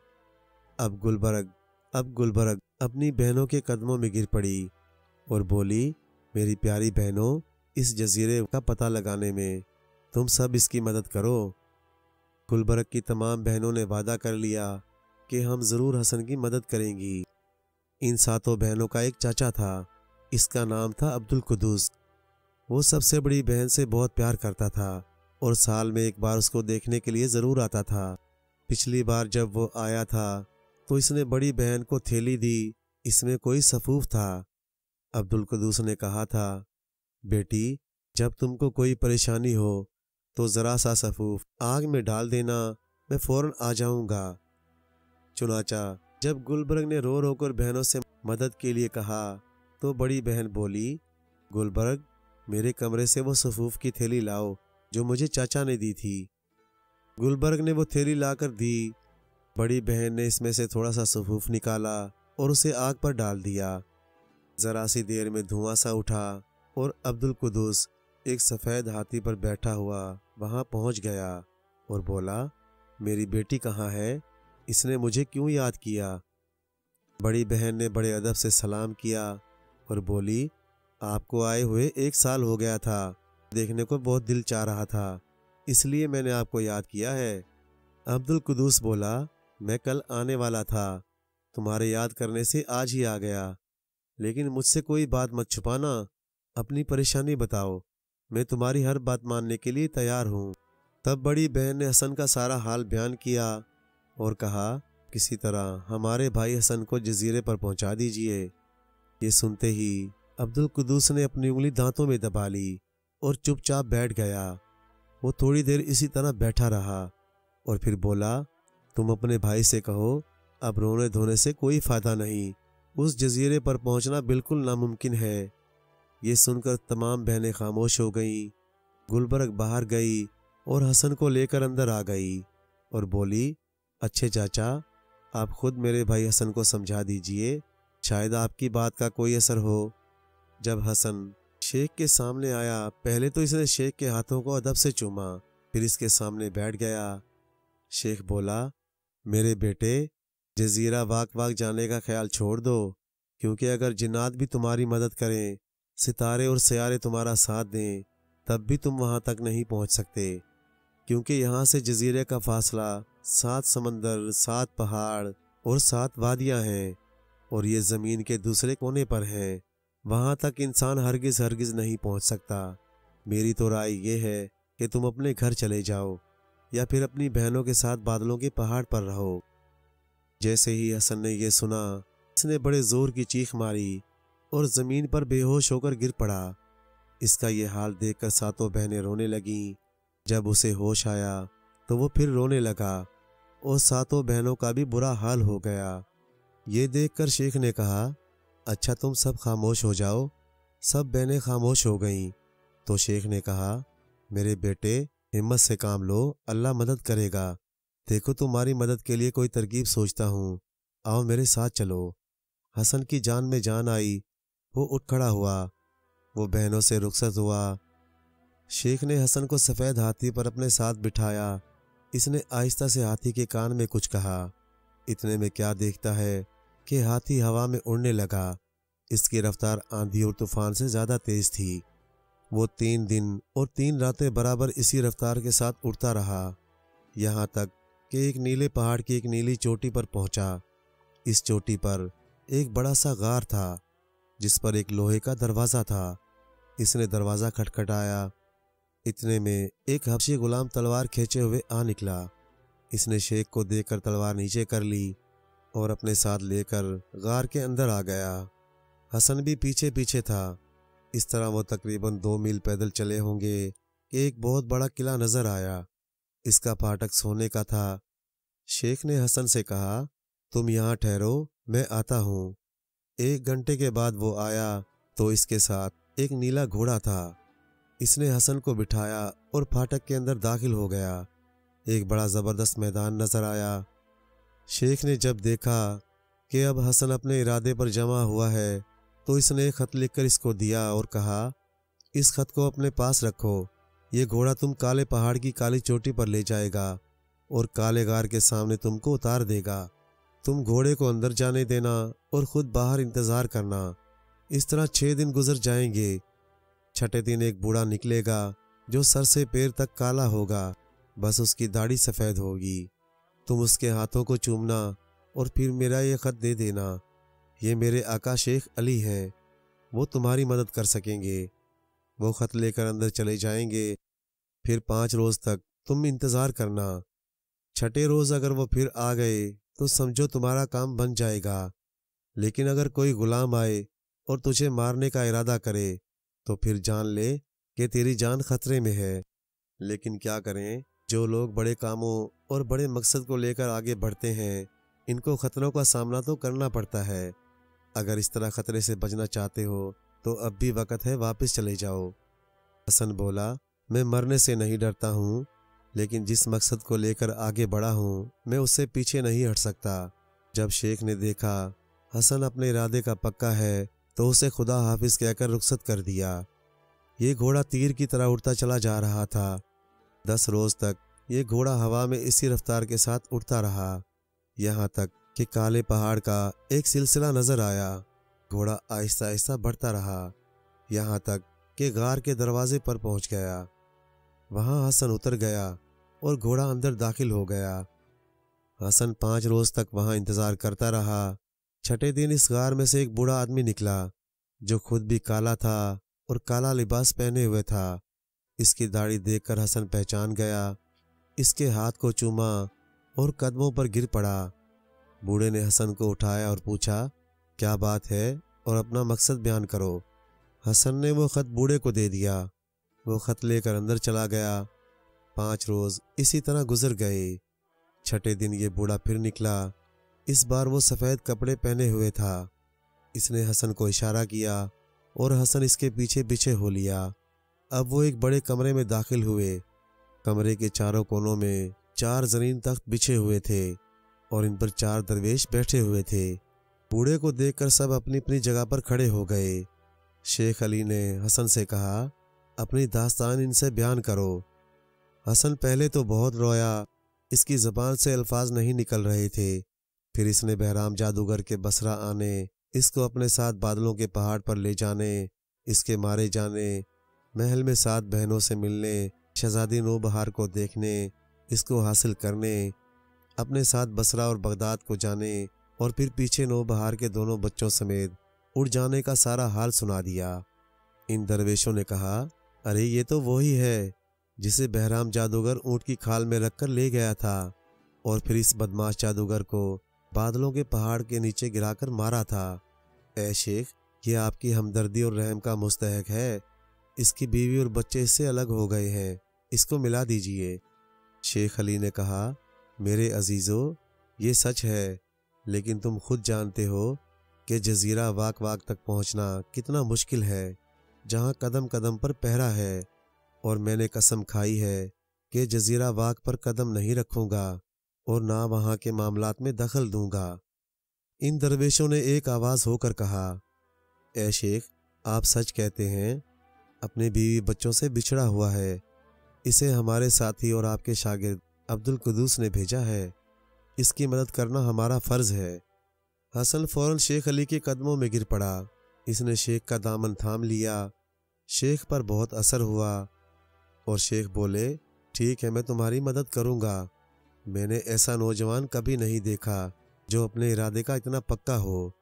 ये सुनना था कि तमाम लोग खुश हो गए। हसन भी बहुत खुश हुआ। शेख अली ने ज़रा सा सर झुकाकर सोचा और फिर बोला सबसे पहले तुम्हें एक चीज़ देता हूँ, जिससे तुम खतरे से बचे रहोगे। ये कहकर इसने दाढ़ी का एक बाल तोड़ा और हसन को देकर कहा, अगर तुम किसी मुसीबत में फंस जाओ तो इस बाल को आग में डाल देना। मैं तुम्हारी मदद के लिए आ जाऊँगा। इसके बाद शेख अली ने इशारा किया, जैसे किसी को बुला रहे हों। एक जिन सामने आया, शेख ने पूछा, तुम्हारा नाम क्या है? उसने जवाब दिया, मेरा नाम दनिश है। अली ने इसके कान में कुछ कहा और फिर हसन से बोला, तुम दनिश की पीठ पर बैठ जाओ, ये तुम्हें बादलों में से लेता हुआ जाएगा और फिर सफ़ेद काफोर की सरजमीन पर पहुँचा देगा। यहाँ पहुंचकर तुमको छोड़ देगा। अब तुमको पैदल चलना होगा और जब तुम सफ़ेद काफोर की सरजमीन के सिरे पर पहुंचोगे तो इसके सामने तुमको जजीरा वाक दिखाई देगा। इसके बाद अल्लाह तुम्हारी मदद करेगा। हसन ने शेख अली का शुक्रिया अदा किया और जिन की कमर पर चढ़ गया, जिन बड़ी तेज़ी से हवा में उड़ना शुरू किया। एक रात और एक दिन के सफ़र के बाद वो सफ़ेद काफोर की सरजमीन पर पहुँचे जिन ने हसन को वहाँ ले जाकर छोड़ दिया और ख़ुद गायब हो गया। अब हसन ने अपना सफ़र पैदल शुरू किया। वो चलता रहा। चलते चलते उसे एक रेगिस्तान नज़र आया। इस रेगिस्तान में उसे एक खैमा नज़र आया। वो खेमे की तरफ़ बढ़ा लेकिन इसके पाँव में कुछ आठ से महसूस हुई। दरअसल, वो जिस पर चल रहा था, वो एक देव था, और जिसको वो खैमा समझ रहा था, वो देव का एक कान था। देव को बहुत गुस्सा आया। वो सोते सोते जाग पड़ा। इसने जो फूंक मारी तो हसन उछलकर हवा में ऊपर जा पहुँचा, और फिर जब नीचे आया तो देव ने उसे दबोच लिया, और अपने हाथों से ऐसे पकड़ लिया, जैसे चिड़िया को कोई पकड़ता है। हसन ने बहुत कोशिश की कि किसी तरह इसके चुंगल से निकल जाए। हसन ने गिड़गिड़ाते हुए कहा, खुदा के वास्ते मेरे ऊपर रहम करो, मुझे बचाओ। देव ने जब सुना तो इसने सोचा, ये तो बहुत अच्छे गाने की आवाज़ है, क्यों ना मैं इसको अपने बादशाह के सामने ले जाऊँ? ये सोचकर वो अपने बादशाह के पास ले गया और बोला, बादशाह सलामत, मैं आपके पास एक छोटा सा जानवर लाया हूँ। इसकी आवाज़ बड़ी बारीक है और खूब गाता है। बादशाह ने हसन को अपने हाथ से छूते हुए कहा, गाओ गाओ, अपनी बारीक और सुरीली आवाज़ में। हसन कुछ ना समझ सका कि वो क्या कह रहा है। वो तो यही समझा कि अब मेरा आखिरी वक्त है, इसने चिल्लाना शुरू कर दिया। खुदा के लिए मुझे बचाओ। देव का बादशाह बहुत खुश हुआ। वो समझा कि ये गाना गा रहा है। इसने देव से कहा, इसको महल में ले जाकर मेरी बेटी को दे दो और उसे एक पिंजरे में बंद करके इसके कमरे में लटका दो, ताकि ये गाना गा गा कर मेरी बेटी का दिल बहलाए। देव उसे महल में ले गए और एक बड़े से पिंजरे में बंद कर दिया। इसमें एक कटोरी में खाना और दूसरे में पानी रख दिया। देवजादी ने जब हसन को देखा तो बहुत खुश हुई। इसके पास आकर उसे प्यार से कहने लगी, अब तो वो उसे बहुत अच्छा लगने लगा है। वो हरदम उसे अपने पास रखेगी। इसको कभी अपने पास से अलग ना करेगी। हसन का ढोल भी इससे छिन गया था और वो बाल भी। ये दोनों इसने अंदर कमरे में रखवा दिए थे। एक दिन वो देवजादी उसे पिंजरे से निकाल कर उछाल उछाल कर खेल रही थी कि एकदम उसे नींद आ गई। हसन ने मौका गनीमत जाना और जल्दी से वहाँ पहुँच गया, जहाँ ये दोनों चीज़ें रखी थीं। इसने चुपचाप बाल को जलाया।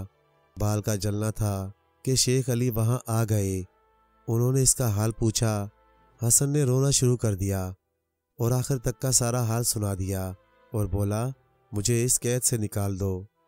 शेख बोला, मेरे अज़ीज़, अब भी वक़्त है। तुम नो बहार और बच्चों का ख्याल छोड़ दो और मेरे साथ वापस चलो।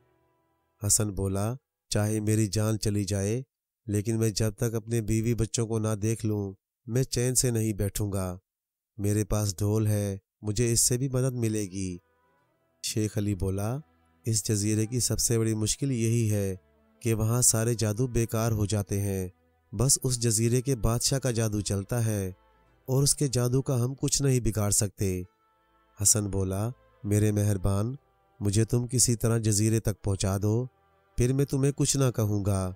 तुम्हारा बड़ा एहसान होगा। शेख बोला अच्छा तो ठीक है, फिर अपनी आँखें बंद करो और ज़रा सी देर बाद फिर खोलना। हसन ने आँखें बंद की और खोली तो वहाँ ना द्योजादी का महल था और ना सफ़ेद काफूर की सरजमीन। वो एक जजीरे में अकेला खड़ा हुआ था। वहाँ ना कोई आदम था, ना कोई आदमजात अभी वो ठीक से देख ही ना सका था कि हर तरफ़ से सफ़ेद सफ़ेद परिंदे आसमान पर छा गए और अंधेरा सा हो गया। वो इतनी तादाद में थे कि उन्होंने सूरज को घेर लिया था और वो बड़े ज़ोर ज़ोर से चीख रहे थे। वाक वाक अब तो वो समझ गया होगा। हो ना हो, वो जजीरा वाक में आ पहुँचा। ये परिंदे हसन की तरफ़ बढ़े तो हसन दौड़कर एक सामने वाली झोपड़ी में पहुँच गया। वो अभी झोपड़ी में छुपकर बैठा ही था कि एकदम उसे ऐसा लगा जैसे ज़मीन हिल रही है और हर तरफ़ से बादल और तूफ़ान आगे बढ़ रहे हैं। फिर इन बादलों में से औरतों की एक फौज बरामद हुई। ये औरतें हथियारों से लैस थीं, जैसे फौजियों के पास होते हैं। ये सुनहरे घोड़े पर सवार थीं और बड़ी तेज़ी के साथ इस तरफ़ बढ़ रही थीं। इनके आगे एक गोरे रंग की परी थी। इसका चेहरा चाँद की तरह चमक रहा था। हसन उसे देखकर डर गया। जैसे ही वो करीब आई, हसन इसके कदमों में गिर पड़ा और बोला, ए जजीरे की मलका, मेरे ऊपर रहम करो। मुझे यहाँ से मत निकालो। मैं अपनी बीवी बच्चों से बिछड़ा हुआ हूँ। परी अपने घोड़े पर से उतर आई इसने बाकी फौज को वापस जाने का हुक्म दिया। इसने अपने लिबास को उसकी तरफ़ कर दिया। हसन ने इसको चूमा और उसके कदमों में गिर पड़ा। इसने अपना सर उठाकर जो देखा तो वो एक बूढ़ी परी थी। परी को इस पर रहम आ गया और बोली, तुम परेशान मत हो, लेकिन मैं चाहती हूँ कि किसी को ये पता ना चले कि तुम कौन हो। इसलिए बेहतर है कि तुम भी मेरे और मेरे सिपाहियों की तरह लिबास पहन लो। फिर तुम्हें कोई ना पहचान सकेगा। फिर मैं तुम्हारी कहानी सुनूँगी। जरा सी देर में बुढ़िया परी ने उसे वो लिबास जरा बख्तर और हथियार ला कर दिए। इनके पहनने के बाद ऐसा लगा जैसे वो भी इनमें से एक है। फिर बूढ़ी परी उसे लेकर समंदर के किनारे आई और बोली, अब तुम मुझे अपना हाल सुनाओ। हसन ने उसे अपना सारा हाल शुरू से आखिर तक सुना दिया। जब वो अपना हाल सुना चुका तो परी ने पूछा तुम्हारे बीवी बच्चों का क्या नाम है? हसन बोला, तुम लोग तो अपने बच्चों को नासर और मंसूर कहते थे, और मेरी बीवी का नाम नोबहार था। लेकिन मुझे नहीं मालूम कि यहाँ उन्होंने क्या नाम रख छोड़ा है। ये कहकर वो अपने बच्चों को याद करके ज़ोर कतार रोने लगा। बूढ़ी परी बोली, हसन, तुमको मैं अपने बेटे की तरह समझूँगी। तुम परेशान मत हो। मुझे यकीन है कि तुम्हारी बीवी यहाँ की परियों में से एक है। कल सुबह यहाँ की परियाँ समंदर के किनारे नहाने आएँगी। मैं कोई ऐसी तरकीब करूँगी। ये सब तुम्हारे सामने से गुजरे। इसके बाद तुम अपनी बीवी को पहचान लेना। अब तो हसन की जान में जान आई। वो बहुत खुश हुआ। बुढ़िया परी ने उसे सारे जजीरे की सैर कराई। परी भी हसन से बहुत खुश हुई और कहा, इत्मीनान रखो, तुम्हें कोई नुकसान नहीं पहुंचेगा। मैं तुम्हारी हर खुशी पूरी करूँगी। हसन को अब परी बहुत अच्छी लगी और उसने कहा, मैं तुम्हारा ये एहसान ज़िंदगी भर नहीं भूलूँगा। अगले रोज सुबह सुबह बुढ़िया परी हसन को लेकर समंदर के किनारे आई, उसे एक चट्टान के पास छुपाकर बिठा दिया। जरा सी देर के बाद बाजे बजने लगे। हर तरफ़ से ढोल ताशे की आवाज़ सुनाई देने लगी। इतने में बहुत सी लड़कियाँ आईं और पानी में कूद पड़ी। दूर से हसन को ऐसा लगा जैसे पानी में सफ़ेद सफ़ेद कमल के फूल खिल गए हों। फिर इनके बाल पानी में इस तरह लहरा रहे थे, जैसे समंदर से झाग निकल रहा हो। हसन ने एक एक औरत को गौर से देखा, लेकिन नौबहार जैसी तो उनमें कोई भी ना थी। इसने उदास होकर बुढ़िया परी से कहा, अच्छी माँ, मेरी नौबहार इनमें नहीं है। बुढ़िया परी बोली, बेटा हसन, परेशान ना हो, शायद दूर होने की वजह से तुम पहचान ना सके। मैं अभी उनको तुम्हारे सामने से गुजरने के लिए कहती हूँ। इसने तालियाँ बजाई और सब औरतें इस तरह सामने से गुजरी। इनमें से एक से एक खूबसूरत थी, लेकिन फिर भी नो बहार नो बहार थी। इसने मायूस होकर बुढ़िया से कहा, अम्मा, सचमुच मेरी नौबहार इनमें से नहीं है। बुढ़िया परी ने कहा, फ़िक्र मत करो, अब हमारे बादशाह की सात शहजादियाँ बाकी हैं, लेकिन तुम इनकी शक्ल सूरत तो बताओ कि वो कैसी है। ताकि मैं भी अंदाज़ा लगा सकूँ। हसन बोला, वो इतनी खूबसूरत है, जितना कि इंसान हो सकता है। इसका रंग इतना सफ़ेद कि रोशनी भी इसके मुकाबले में सफ़ेद नहीं। ये कहकर इसकी आँखों में आँसू आ गए और बोला, मेरी नौबहार, तुम्हारे बगैर जैसे मेरे पास अब कुछ ना रहा, जैसे मेरी आँखों की रोशनी जाती रही। ये कहकर हसन रोने लगा। बूढ़ी परी ने कुछ सोच कर कहा, हसन तुम्हारी बातों से मुझे ऐसा लगता है कि तुम्हारी नौबहार हमारे बादशाह की बेटी है। अगर ये सच है तो तुम मायूस हो जाओ। इसलिए इसको हासिल करना ऐसा है, जैसे चाँद को छू लेना। मेरी राय तो ये है, तुम इस ख्याल को छोड़ दो। ये सुनना था कि हसन धड़ाम से गिर पड़ा और बुरी तरह से रोने लगा और फिर बोला, मेरी प्यारी माँ, किसी तरह मेरी मदद करो इस जजीरे में क्या है जो तुम नहीं कर सकती? बूढ़ी परी बोली, ये सच है, लेकिन तुम इन लड़कियों से, जिसे चाहे पसंद कर लो और अपने घर ले जाओ, मैं खुशी से इजाज़त दे दूँगी। लेकिन अगर बादशाह को मालूम हो जाए कि मैंने तुमको यहाँ रहने की इजाज़त दी तो फिर मेरी जान की खैर नहीं। तुम जितनी दौलत चाहो, मैं तुमको दे सकती हूँ। बस तुम इस ख्याल को छोड़ दो। हसन बुढ़ी परी के कदमों में गिर पड़ा। और बोला, मुझे कुछ नहीं चाहिए। मुझे तो सिर्फ़ अपने बीवी बच्चे चाहिए। ये कहकर हसन चीख चीख कर रोने लगा। बुढ़िया परी को हसन पर तरस आ गया। इसने अपने हाथों से उठाया और बोली, तुम परेशान ना हो। अब तो चाहे मेरी जान चली जाए, मैं तुम्हारी मदद ज़रूर करूँगी। जजीरा बाग कोई एक जजीरा नहीं, ये सात जजीरों से मिलकर बनता है। हर जजीरे में बादशाह की एक लड़की हुकूमत करती है। मेरे इस जजीरे पर बादशाह की सबसे बड़ी लड़की नूरुल हुदा की हुकूमत है। मैं अभी जाकर उसे तुम्हारे बारे में बात करती हूँ। अब तुम अपने आँसू पूछ डालो। ये कहकर शहजादी नूरुल हुदा के दरबार में गई और आदाब बजाकर बोली, शहजादी साहिबा, अगर इजाज़त हो तो कुछ अर्ज़ करूँ? शहजादी बोली, ज़रूर। अगर कोई फरमाइश हो तो ज़रूर पूरी की जाएगी। बुढ़िया परी बोली, शहजादी साहिबा, आज मुझे एक खूबसूरत नौजवान मिला, जिसे समंदर की लहरों ने किनारे पर लाकर छोड़ दिया। मैंने अपनी ज़िंदगी में इतना खूबसूरत इंसान नहीं देखा। वो अपने बीवी बच्चों को ढूंढता हुआ यहाँ पहुँचा है। वो अपनी बीवी की जो पहचान बताता है, इससे मुझे आप और आपकी बहनों का ख्याल आता है। ये सुनना था कि शहजादी आग बगोला हो गई और बोली, शैतान की खाला, बता, तूने एक इंसान को कैसे इस जजीरे में दाखिल होने दिया? मेरा जी चाहता है कि इसी वक्त तेरा खून पी जाऊँ और तेरी हड्डियाँ चबा डालूं, लेकिन तूने मेरी खिदमत की है, इसलिए मैं तुझे कुछ नहीं कहती।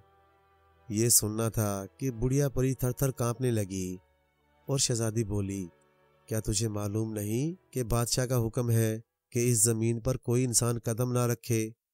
फिर तू कैसी हिफाजत करती है कि तेरे होते हुए किसी आदमी की ये हिम्मत हो कि वो ज़िंदा सलामत यहाँ चले फिरे?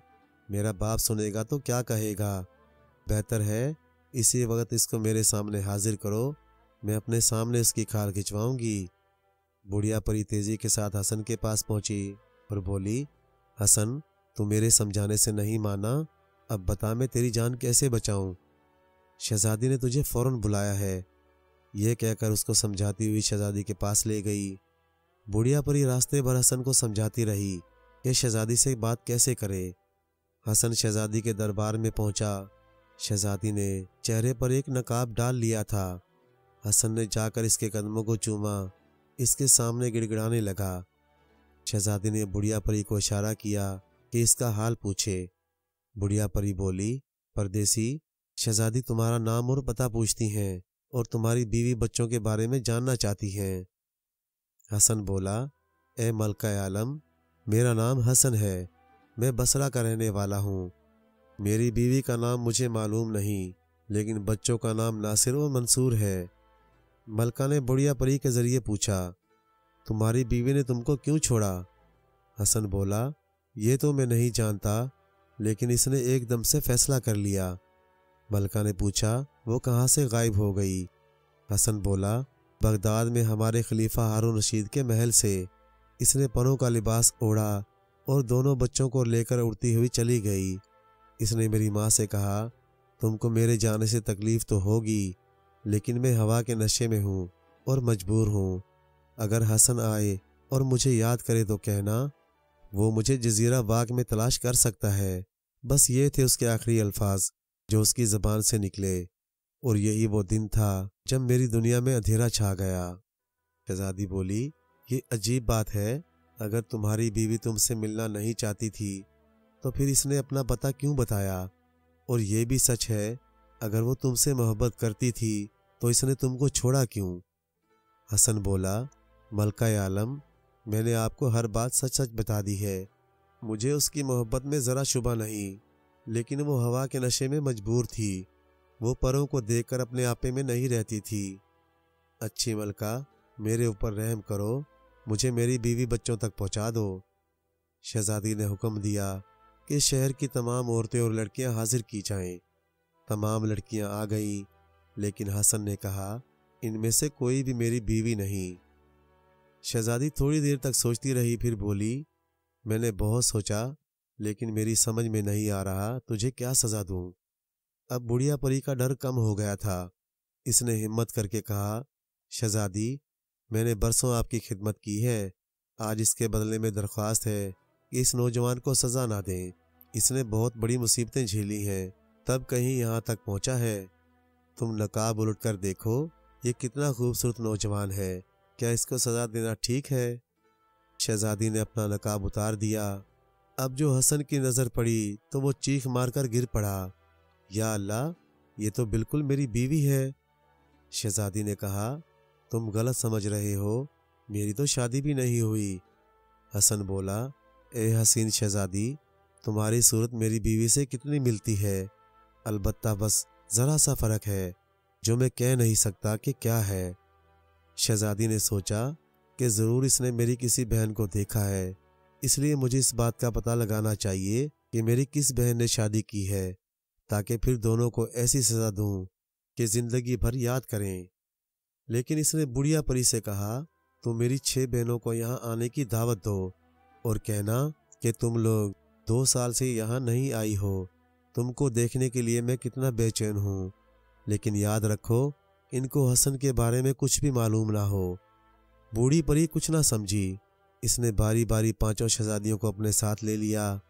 फिर वो छठी के पास पहुँची। ये सबसे छोटी थी और अपने माँ बाप के साथ रहती थी।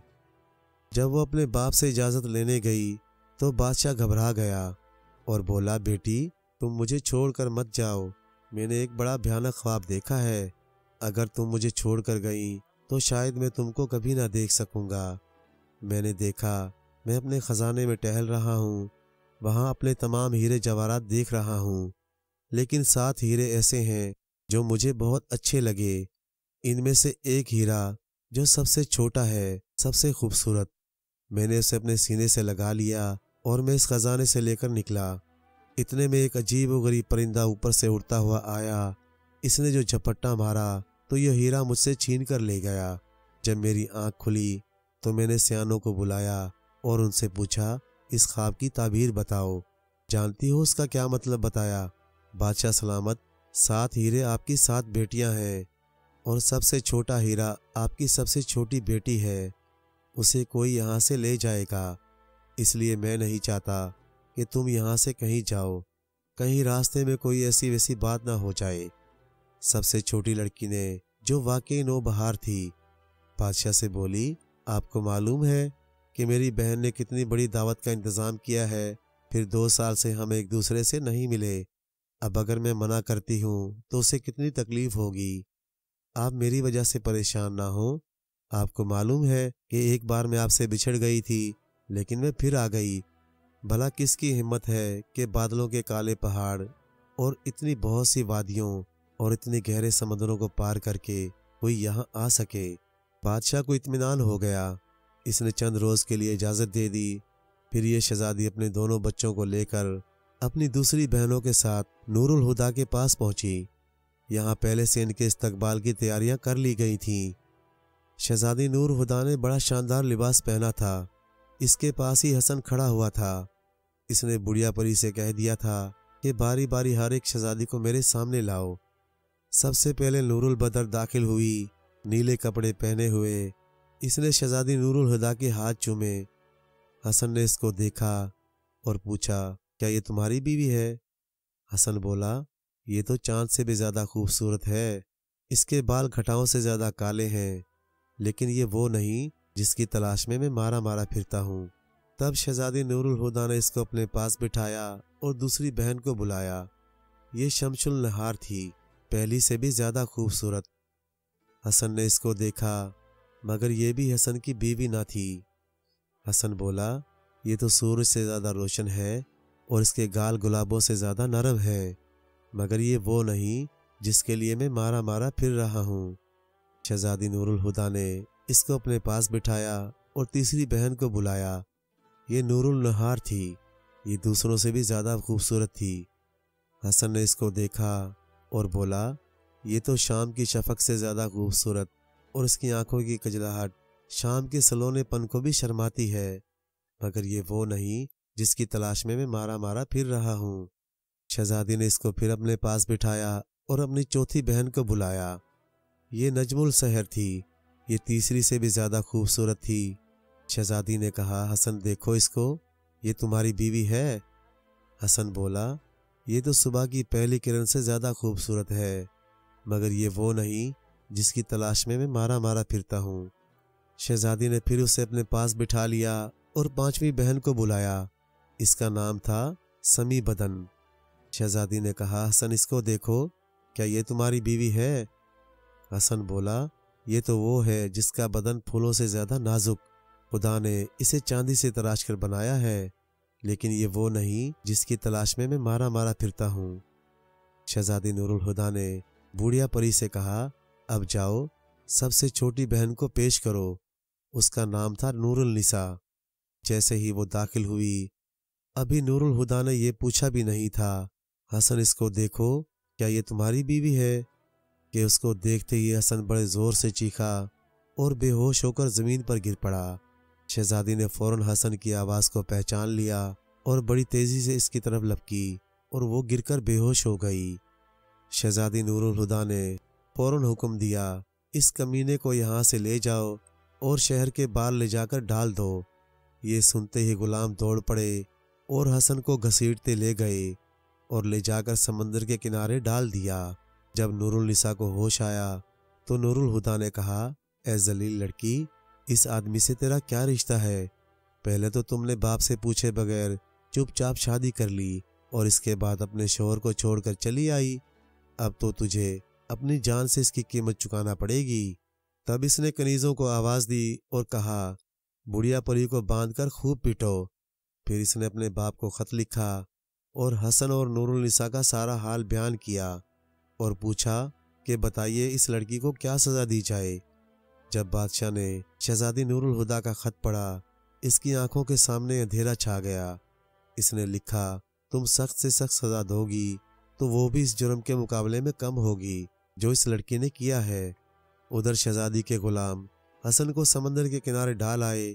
जब उसे होश आया तो उसकी समझ में कुछ ना आया कि वो कहाँ है। वो समंदर के किनारे टहलने लगा। इतने में क्या देखता है? दो लड़के एक दूसरे से झगड़ रहे हैं। हसन ने इनको अलग कर दिया और बोला, तुम क्यों लड़ रहे हो? वो बोले, ये झगड़ा एक छुरी और टोपी के लिए है, जो वहीं रखी हुई थी। हसन बोला, तुम दोनों इतनी सी चीज़ के लिए क्यों झगड़ रहे हो? उन लड़कों ने कहा, आप इनको इतनी सी चीज़ कहते हैं। आइए हम आपको इसकी खासियत बताएँ। हमारा बाप बहुत बड़ा जादूगर था। इसने जादू की मदद से ये दोनों चीज़ें 135 साल के बाद तैयार की थी। अब वो मर गया। हम दोनों में झगड़ा ये है कि कौन क्या ले। इसके अंदर बहुत से तिलसिम बारीक बारीक लिखे हुए हैं। इसका मालिक तमाम जिनों पर हुकूमत करता है। जब वो ज़मीन पर छड़ी मारता है तो तमाम जिनों की फौज ज़मीन से निकलती है। इसका हुक्म का इंतज़ार करती है, जैसे वो कहता है करती है। और टोपी की खासियत यह है कि जो कोई इस टोपी को पहन ले इसको कोई ना देख सके। हसन पहले तो हैरान हुआ, फिर इसने सोचा कि मुझसे ज़्यादा इस छड़ी और टोपी की किसे ज़रूरत हो सकती है? किसी तरह इन पर कब्जा करना चाहिए। मैं इनकी मदद से अपना मकसद हासिल कर सकता हूँ। चुनाचा इसने लड़कों से कहा अच्छा मैं एक तरकीब करता हूँ। मैं एक किंगरी फेंकूँगा। जो कोई उसे लेकर पहले आएगा, उसको ये छड़ी दूँगा और दूसरे को टोपी। दोनों लड़के राज़ी हो गए। हसन ने एक किंगरी उठाकर फेंकी। वो दोनों किंगरी लाने के लिए तोड़ पड़े। हसन ने फ़ौरन सर पर टोपी पहन ली और ओढ़ ली और छड़ी को अपने हाथ में ले लिया और दूसरी तरफ़ जाकर खड़ा हो गया। जब लड़के वापस आए तो उन्हें कोई आदमी नज़र नहीं आया। उन्होंने कहा, वो आदमी कहाँ गया जिसने हमारा फैसला करना था? हसन करीब ही खड़ा था। अब उसे यकीन आ गया कि इनमें यह खासियत है। और हसन वहाँ से आगे बढ़ गया। इसने सोचा कि शहर में जाना चाहिए और सबसे पहले बुढ़िया परी को देखना चाहिए कि वो किस हाल में है। वो टोपी पहने इस महल में दाखिल हुआ, जिसमें वो कैद थी। हसन ने देखा, बेचारी एक जंजीर से बंधी पड़ी है। इसने जानबूझकर चीनी का बर्तन गिराकर तोड़ा। बुढ़िया डर गई और बोली, हज़रत सलेमान की कसम बताओ तुम कौन हो? हसन बोला, मैं कोई जिनजाद या दो नहीं हूँ। मैं तुम्हारा बेटा हसन हूँ, जिसकी वजह से तुम इस मुसीबत में फंसी हो। मैं तुमको छुड़ाने के लिए आया हूँ। ये कहकर इसने टोपी उतार दी तो बुढ़िया ने उसे देख लिया। बुढ़िया परी बोली, बेटा हसन, तुम यहाँ से भाग जाओ। तुम्हें मालूम नहीं कि शहजादी नूरुल हुदा तुम्हारी तलाश में मारी मारी फिर रही है। उसके गुलाम तुम्हें जहाँ पाएँगे, जान से मार देंगे। तुम्हारी जान खतरे में है, बस तुम भाग जाओ। वो तुम्हारी बीवी को भी मारना चाहते हैं। हसन ने कहा, तुम अब ज़्यादा वक्त मत बर्बाद करो। ये जादू की टोपी हमारे काम आएगी। ये कहकर इसने बुढ़िया परी को टोपी में छुपा लिया। बुढ़िया परी बोली, यहाँ से जल्दी चलो। मैं तुमको तुम्हारी बीवी और बच्चों के पास ले चलूँ। इसलिए कि इनकी जान भी खतरे में है। ये कहकर उसे एक कोठड़ी में ले गई, जहाँ नो बाहर बंधी हुई पड़ी थी। हसन ने अंदर जाकर जो उसको इस हाल में देखा तो परेशान हो गया। वो लड़कों के पास गया और टोपी उतार दी। लड़कों ने जो बाप को देखा तो उसको फ़ौरन पहचान लिया और बड़े खुश हुए। माँ ने कहा, क्या बात है? हसन ने जल्दी से टोपी पहन ली। हसन और नौबहार ये बातें कर ही रहे थे कि उसी वक्त शहजादी नूरुल हुदा उधर आ निकली। इसने कोठड़ी में जो ये आवाज़ें सुनी तो वो वहाँ आ गई। हसन ने उसे देखकर जल्दी से टोपी ओढ़ ली और नूरुल हुदा की नज़र से उजल हो गया। इसने बड़े गुस्से से नौबहार से पूछा, अरे चुड़ैल, बता तू किससे बातें कर रही थी? वो बोली, इन दोनों बच्चों के अलावा यहाँ कौन है जिससे मैं बातें कर सकती? शहजादी नूरुल हुदा गुस्से में तो थी ही। इसने उसके दो तीन चांटे मारे और कनीज से कहा, इसको ले जाकर दूसरे कमरे में डाल दो। कनीज इसको दूसरे कमरे में ले गई तो हसन भी इनके पीछे पीछे इस कमरे में दाखिल हो गया। ये बेचारी वहाँ ज़ोर कतार रो रही थी। हसन ने जब देखा, वहाँ कोई नहीं है तो इसने सर से टोपी उतार दी। शहजादी नौबहार और दोनों बच्चे उसे देखकर बहुत खुश हुए। शहजादी ने कहा, तूने देखा कि मेरी बहन मेरे साथ क्या सलूक कर रही है?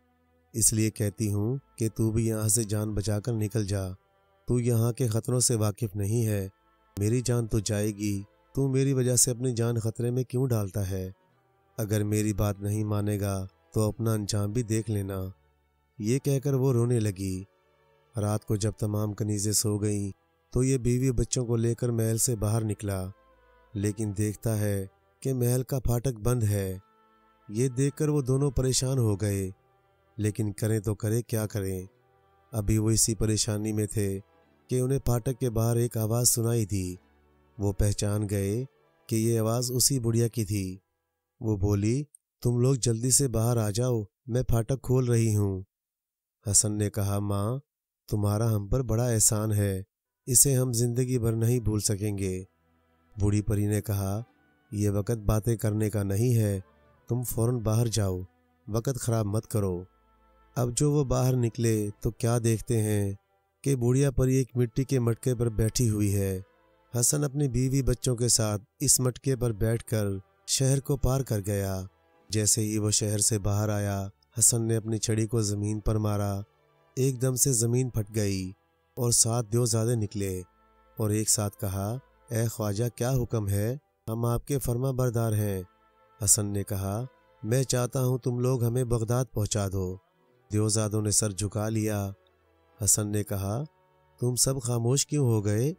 वो जिन ज़्यादा बोले, दरअसल हमने हज़रत सलेमान अलैहिस्सलाम के ज़माने में कसम खाई थी कि हम इंसान को कभी अपने कंधों पर नहीं बिठाएँगे और हमने आज तक इस कसम को नहीं तोड़ा। इसके बावजूद हम तुमको आतशी घोड़ों के ज़रिए तुम जहाँ कहोगे वहाँ पहुँचा देंगे, लेकिन हम कोशिश करेंगे कि आपको जल्दी से जल्दी पहुँचा दें। ये कहकर वो गायब हो गए और ज़रा सी देर में तीन अजीबो गरीब घोड़े लेकर आ गए।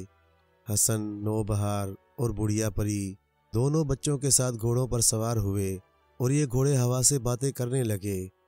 इसी तरह कई दिन गुजर गए। क्या देखते हैं कि सामने एक गुबार सा आ रहा है। जब बादल छटे तो एक जिन दिखाई दिया, जिसका सर एक गुंबद का सा था और दांत सूखे पेड़ की शाखों की तरह थे और मुँह गार की मानित था। हसन परेशान हो गया तो जिन ने सामने आकर कहा घबराने की कोई बात नहीं, मैं खुदा परस्त हूँ। मुझे आपका सारा हाल मालूम है। मुझे जब पता चला कि आप मेरे इलाके से गुजरने वाले हैं तो फिर मैंने सोचा कि मैं भी हिफाजत करूँ, क्योंकि रास्ता खतरनाक है। मैं थोड़ी दूर आपके साथ चलूँगा, फिर वापस चला जाऊँगा। अब जाकर हसन को इत्मीनान हुआ। घोड़े तेज़ी से चलते रहे चलते रहे। यहाँ तक कि उन्होंने बहुत से पहाड़ों, दरियाओं और मैदानों को पार किया। इस तरह तीन दिन हो गए। अचानक क्या देखते हैं? गर्द का एक तूफ़ान सा आया और अंधेरा सा छा गया। हसन घबरा गया। बुढ़िया परी ने कहा, बेटा हसन, ये तो जजीरा वाग की फौज चली आ रही है। ये हमें गिरफ़्तार करने पीछे पीछे आए हैं। हसन ने कहा, अब बताओ क्या किया जाए? बुढ़िया परी बोली, तुम अपनी छड़ी ज़मीन पर मारो। उसने जैसे ही ज़मीन पर छड़ी मारी, जिन्हों के बादशाह आ गए। उन्होंने कहा आप परेशान न हो। अपने साथियों के साथ पहाड़ की बुलंदी पर ठहर जाएँ। हम लोग इनसे मुकाबला करते हैं। ये लश्कर शहजादी नूरुल हुदा का है और आपका सारा हाल मालूम है। शहजादी की सरासर ज्यादती है। आपको हक है कि आप अपने बीवी बच्चों को घर ले जाएँ। हसन, इसकी बीवी बच्चे और बुढ़िया परी इस पहाड़ की बुलंदी पर जाकर छुप गए। इसके बाद क्या देखते हैं कि दोनों तरफ़ से फौजें लड़ रही हैं। जंग ऐसी होलनाक कि लाशें उड़ती हुई आसमान पर जाती हैं। हर तरफ़ शोले निकल रहे हैं। गर्द आसमान से बातें कर रही हैं। ये लड़ाई मुसलसल तीन दिन तक होती रही। इसके बाद हसन के साथियों की जीत हो गई। शहजादी नूरुल हुदा को गिरफ़्तार करके हसन के सामने लाया गया। हसन और उसकी बीवी बच्चों के लिए एक तख्त लाया गया। जिन्हों के बादशाह ने कहा, आप जैसा हुक्म दे, हम वैसी ही सजा देंगे। बुढ़िया परी ने जो उसे देखा तो उसे बहुत गुस्सा आया। वो बोली ए जलील औरत, तुझे कुत्तों के सामने डाल देना चाहिए कि तेरी तिक्का बोटी बनाकर खा जाएँ, कि जिसने अपनी बहन के साथ जानवरों जैसा सलूक किया, जो बेचारी बेकसूर थी। नूरुल हुदा ज़ुबान से तो कुछ ना बोली, लेकिन अपनी बहन की तरफ़ देखकर रोने लगी। नो बहार को अपनी बहन पर रहम आ गया। वो हसन से बोली, इसका कसूर तो ऐसा है कि माफ़ी के काबिल नहीं, लेकिन मैं अपनी तरफ़ से इसको माफ़ करती हूँ, क्योंकि ये मेरी बहन है। मेरे बाप को मेरा गम तो ज़रूर होगा, लेकिन अगर ये भी मारी गई तो फिर इसका सदमा वो बर्दाश्त नहीं कर सकेगा। आप इसको छोड़ दें। हसन ने कहा, मैंने तेरी खातिर इतनी तकलीफ़ें उठाई, और अब तेरी ही खातिर इसको माफ़ करता हूँ। तेरी बहन को इसके साथियों समेत छोड़ता हूँ। ये सुनना था कि नूरुल हुदा गिर पड़ी और बोली, मेरी अच्छी बहन, मैं अपनी गलती पर बहुत शर्मिंदा हूँ। फिर दोनों बहनें रोने लगीं और एक दूसरे से गले मिली और काफ़ी देर तक बातें करती रहीं। नूरुल हुदा ने कहा, वाकई हसन तुम्हारे काबिल है। इसने तुम्हारे लिए कितनी तकलीफ़ें बर्दाश्त की हैं। फिर जो आदमी अपने दुश्मन को माफ़ कर दे, वो यकीनन बहुत अच्छा होगा। इसने हमें माफ़ करके हमें दूसरी बार जीता है। तुम खुशी खुशी इसके साथ जाओ। इसके बाद रात भर सब लोग साथ रहे और हँसी खुशी बातें करते रहे। हसन और नूरुल हुदा में भी बड़ी दोस्ती हो गई। बुढ़िया परी और शहजादी नूरुल हुदा भी एक दूसरे से घुल मिल गईं। फिर शहजादी नूरुल हुदा बुढ़िया परी को अपने साथ ले गई। अब हसन, शहजादी नौबहार और दोनों बच्चे फिर सफ़र पर रवाना हो गए। महीनों के सफ़र के बाद उन्हें काले पहाड़ों का एक सिलसिला नज़र आया। हसन को एकदम से शेख अली का ख्याल आ गया। इसने सोचा कि उनका कितना बड़ा एहसान है, वरना मैं कहाँ और जजीरा वाग कहाँ। अब हसन नीचे उतरा और सीधा शेख अली के पास पहुँचा। शेख इनको देखकर बहुत खुश हुआ और इससे हाल पूछा। हसन ने सारा माजरा शुरू से लेकर आखिर तक कह सुनाया और उन्होंने बच्चों से भी मुलाकात की। शेख अली ने जब जादू की छड़ी और टोपी के बारे में सुना तो बोले ये सच है कि इन चीज़ों की बदौलत तुम अपने मकसद में कामयाब हुए। अभी वो ये बातें कर ही रहे थे कि इतने में क्या देखते हैं कि शेख अब्दुल कुदूस चले आ रहे हैं। शेख अली ने इनको बढ़कर गले लगाया, फिर इनकी नज़र हसन पर पड़ी तो वो उससे लिपट गए। फिर हसन ने इनको भी सारा किस्सा सुनाया। हसन तो शेख अब्दुल कुदूस और शेख अली को एक जगह पाकर खुशी से फूले न समा रहा था। जब हसन वहाँ से रुखसत होने लगा तो इसने वो जादू की टोपी शेख अली को तोहफे के तौर पर दे दी और कहा, अगर आपने मेरी मदद ना की होती तो मैं जजीरा वाक में कभी दाखिल नहीं हो सकता था। इसके बाद शेख अब्दुल कुदूस के साथ हसन और इसकी बीवी बच्चे रवाना हो गए। चलते चलते एकदम से उनको बादलों का पहाड़ नज़र आया। शेख ने कहा, हसन, अगर तुम चाहो तो अपनी बहनों से भी मिल लो। ये सुनकर हसन तो बहुत खुश हुआ और वो सब लोग सीधे सातों शहजादियों के महल में उतरे। वो बहनें उन्हें देखकर बहुत खुश हुईं। जरा सी देर में हसन की बहन गुलबर्ग आ गई। वो हसन को देखकर मारे खुशी के इससे लिपट गई। हसन ने अपनी सातों बहनों के सामने शुरू से लेकर आखिर तक का सारा हाल बता दिया। गुलबर्ग ने बच्चों को बहुत प्यार किया। फिर इनकी खातर मदारत की। हसन दस रोज तक अपनी सातों बहनों के पास रहे। ये दिन इस तरह गुजरे कि गोया ईद के दिन थे। दस रोज के बाद फिर सफ़र का सिलसिला शुरू हुआ। शेख अब्दुल कुदूस जब वापस जाने लगे तो हसन ने जादू की छड़ी भी उनके हवाले कर दी। गुलबर्ग ने हसन को बहुत से हीरे जवाहरात दिए और इस तरह वो वहाँ से रुखसत हो गए। वहाँ से सीधा बगदाद पहुँचे। घर पहुंचकर हसन ने माँ को आवाज़ दी। उसकी आँखें रोते रोते ख़राब हो गई थीं। उन्होंने जो आवाज़ सुनी तो कहा, कौन है? हसन बोला, माँ, तेरा बेटा, तेरी बहू और तेरे पोते आए हैं। ये सुनना था कि बुढ़िया ने जल्दी जल्दी दरवाज़ा खोला। अपने बेटे, बहू और बच्चों को देखकर वो एकदम से बेहोश होकर गिर पड़ी। हसन ने उसे उठाकर चारपाई पर डाला और तब वो होश में आ गई। अब तो सब हँसी खुशी रहने लगे। अलबत्ता सब लोग साल में एक बार बादलों के पहाड़ पर जाते थे। गुलबर्ग उनको देखकर फूले ना समाती। आखिर हसन की बहन जो थी, इस तरह इनके दिन हँसी खुशी गुजरते रहे। अब नौबहार भी अपने परों वाले लिबास को भूल गई। वो तो बस अपने शोहर और बच्चों से मोहब्बत करती और उनका ख्याल रखती। प्यारे दोस्तों, कहानी अच्छी लगे तो लाइक करें, चैनल को सब्सक्राइब कर दें और मज़ीद इसी तरह की किस्से कहानियाँ देखने के लिए देखते रहें। G N story TV. शुक्रिया।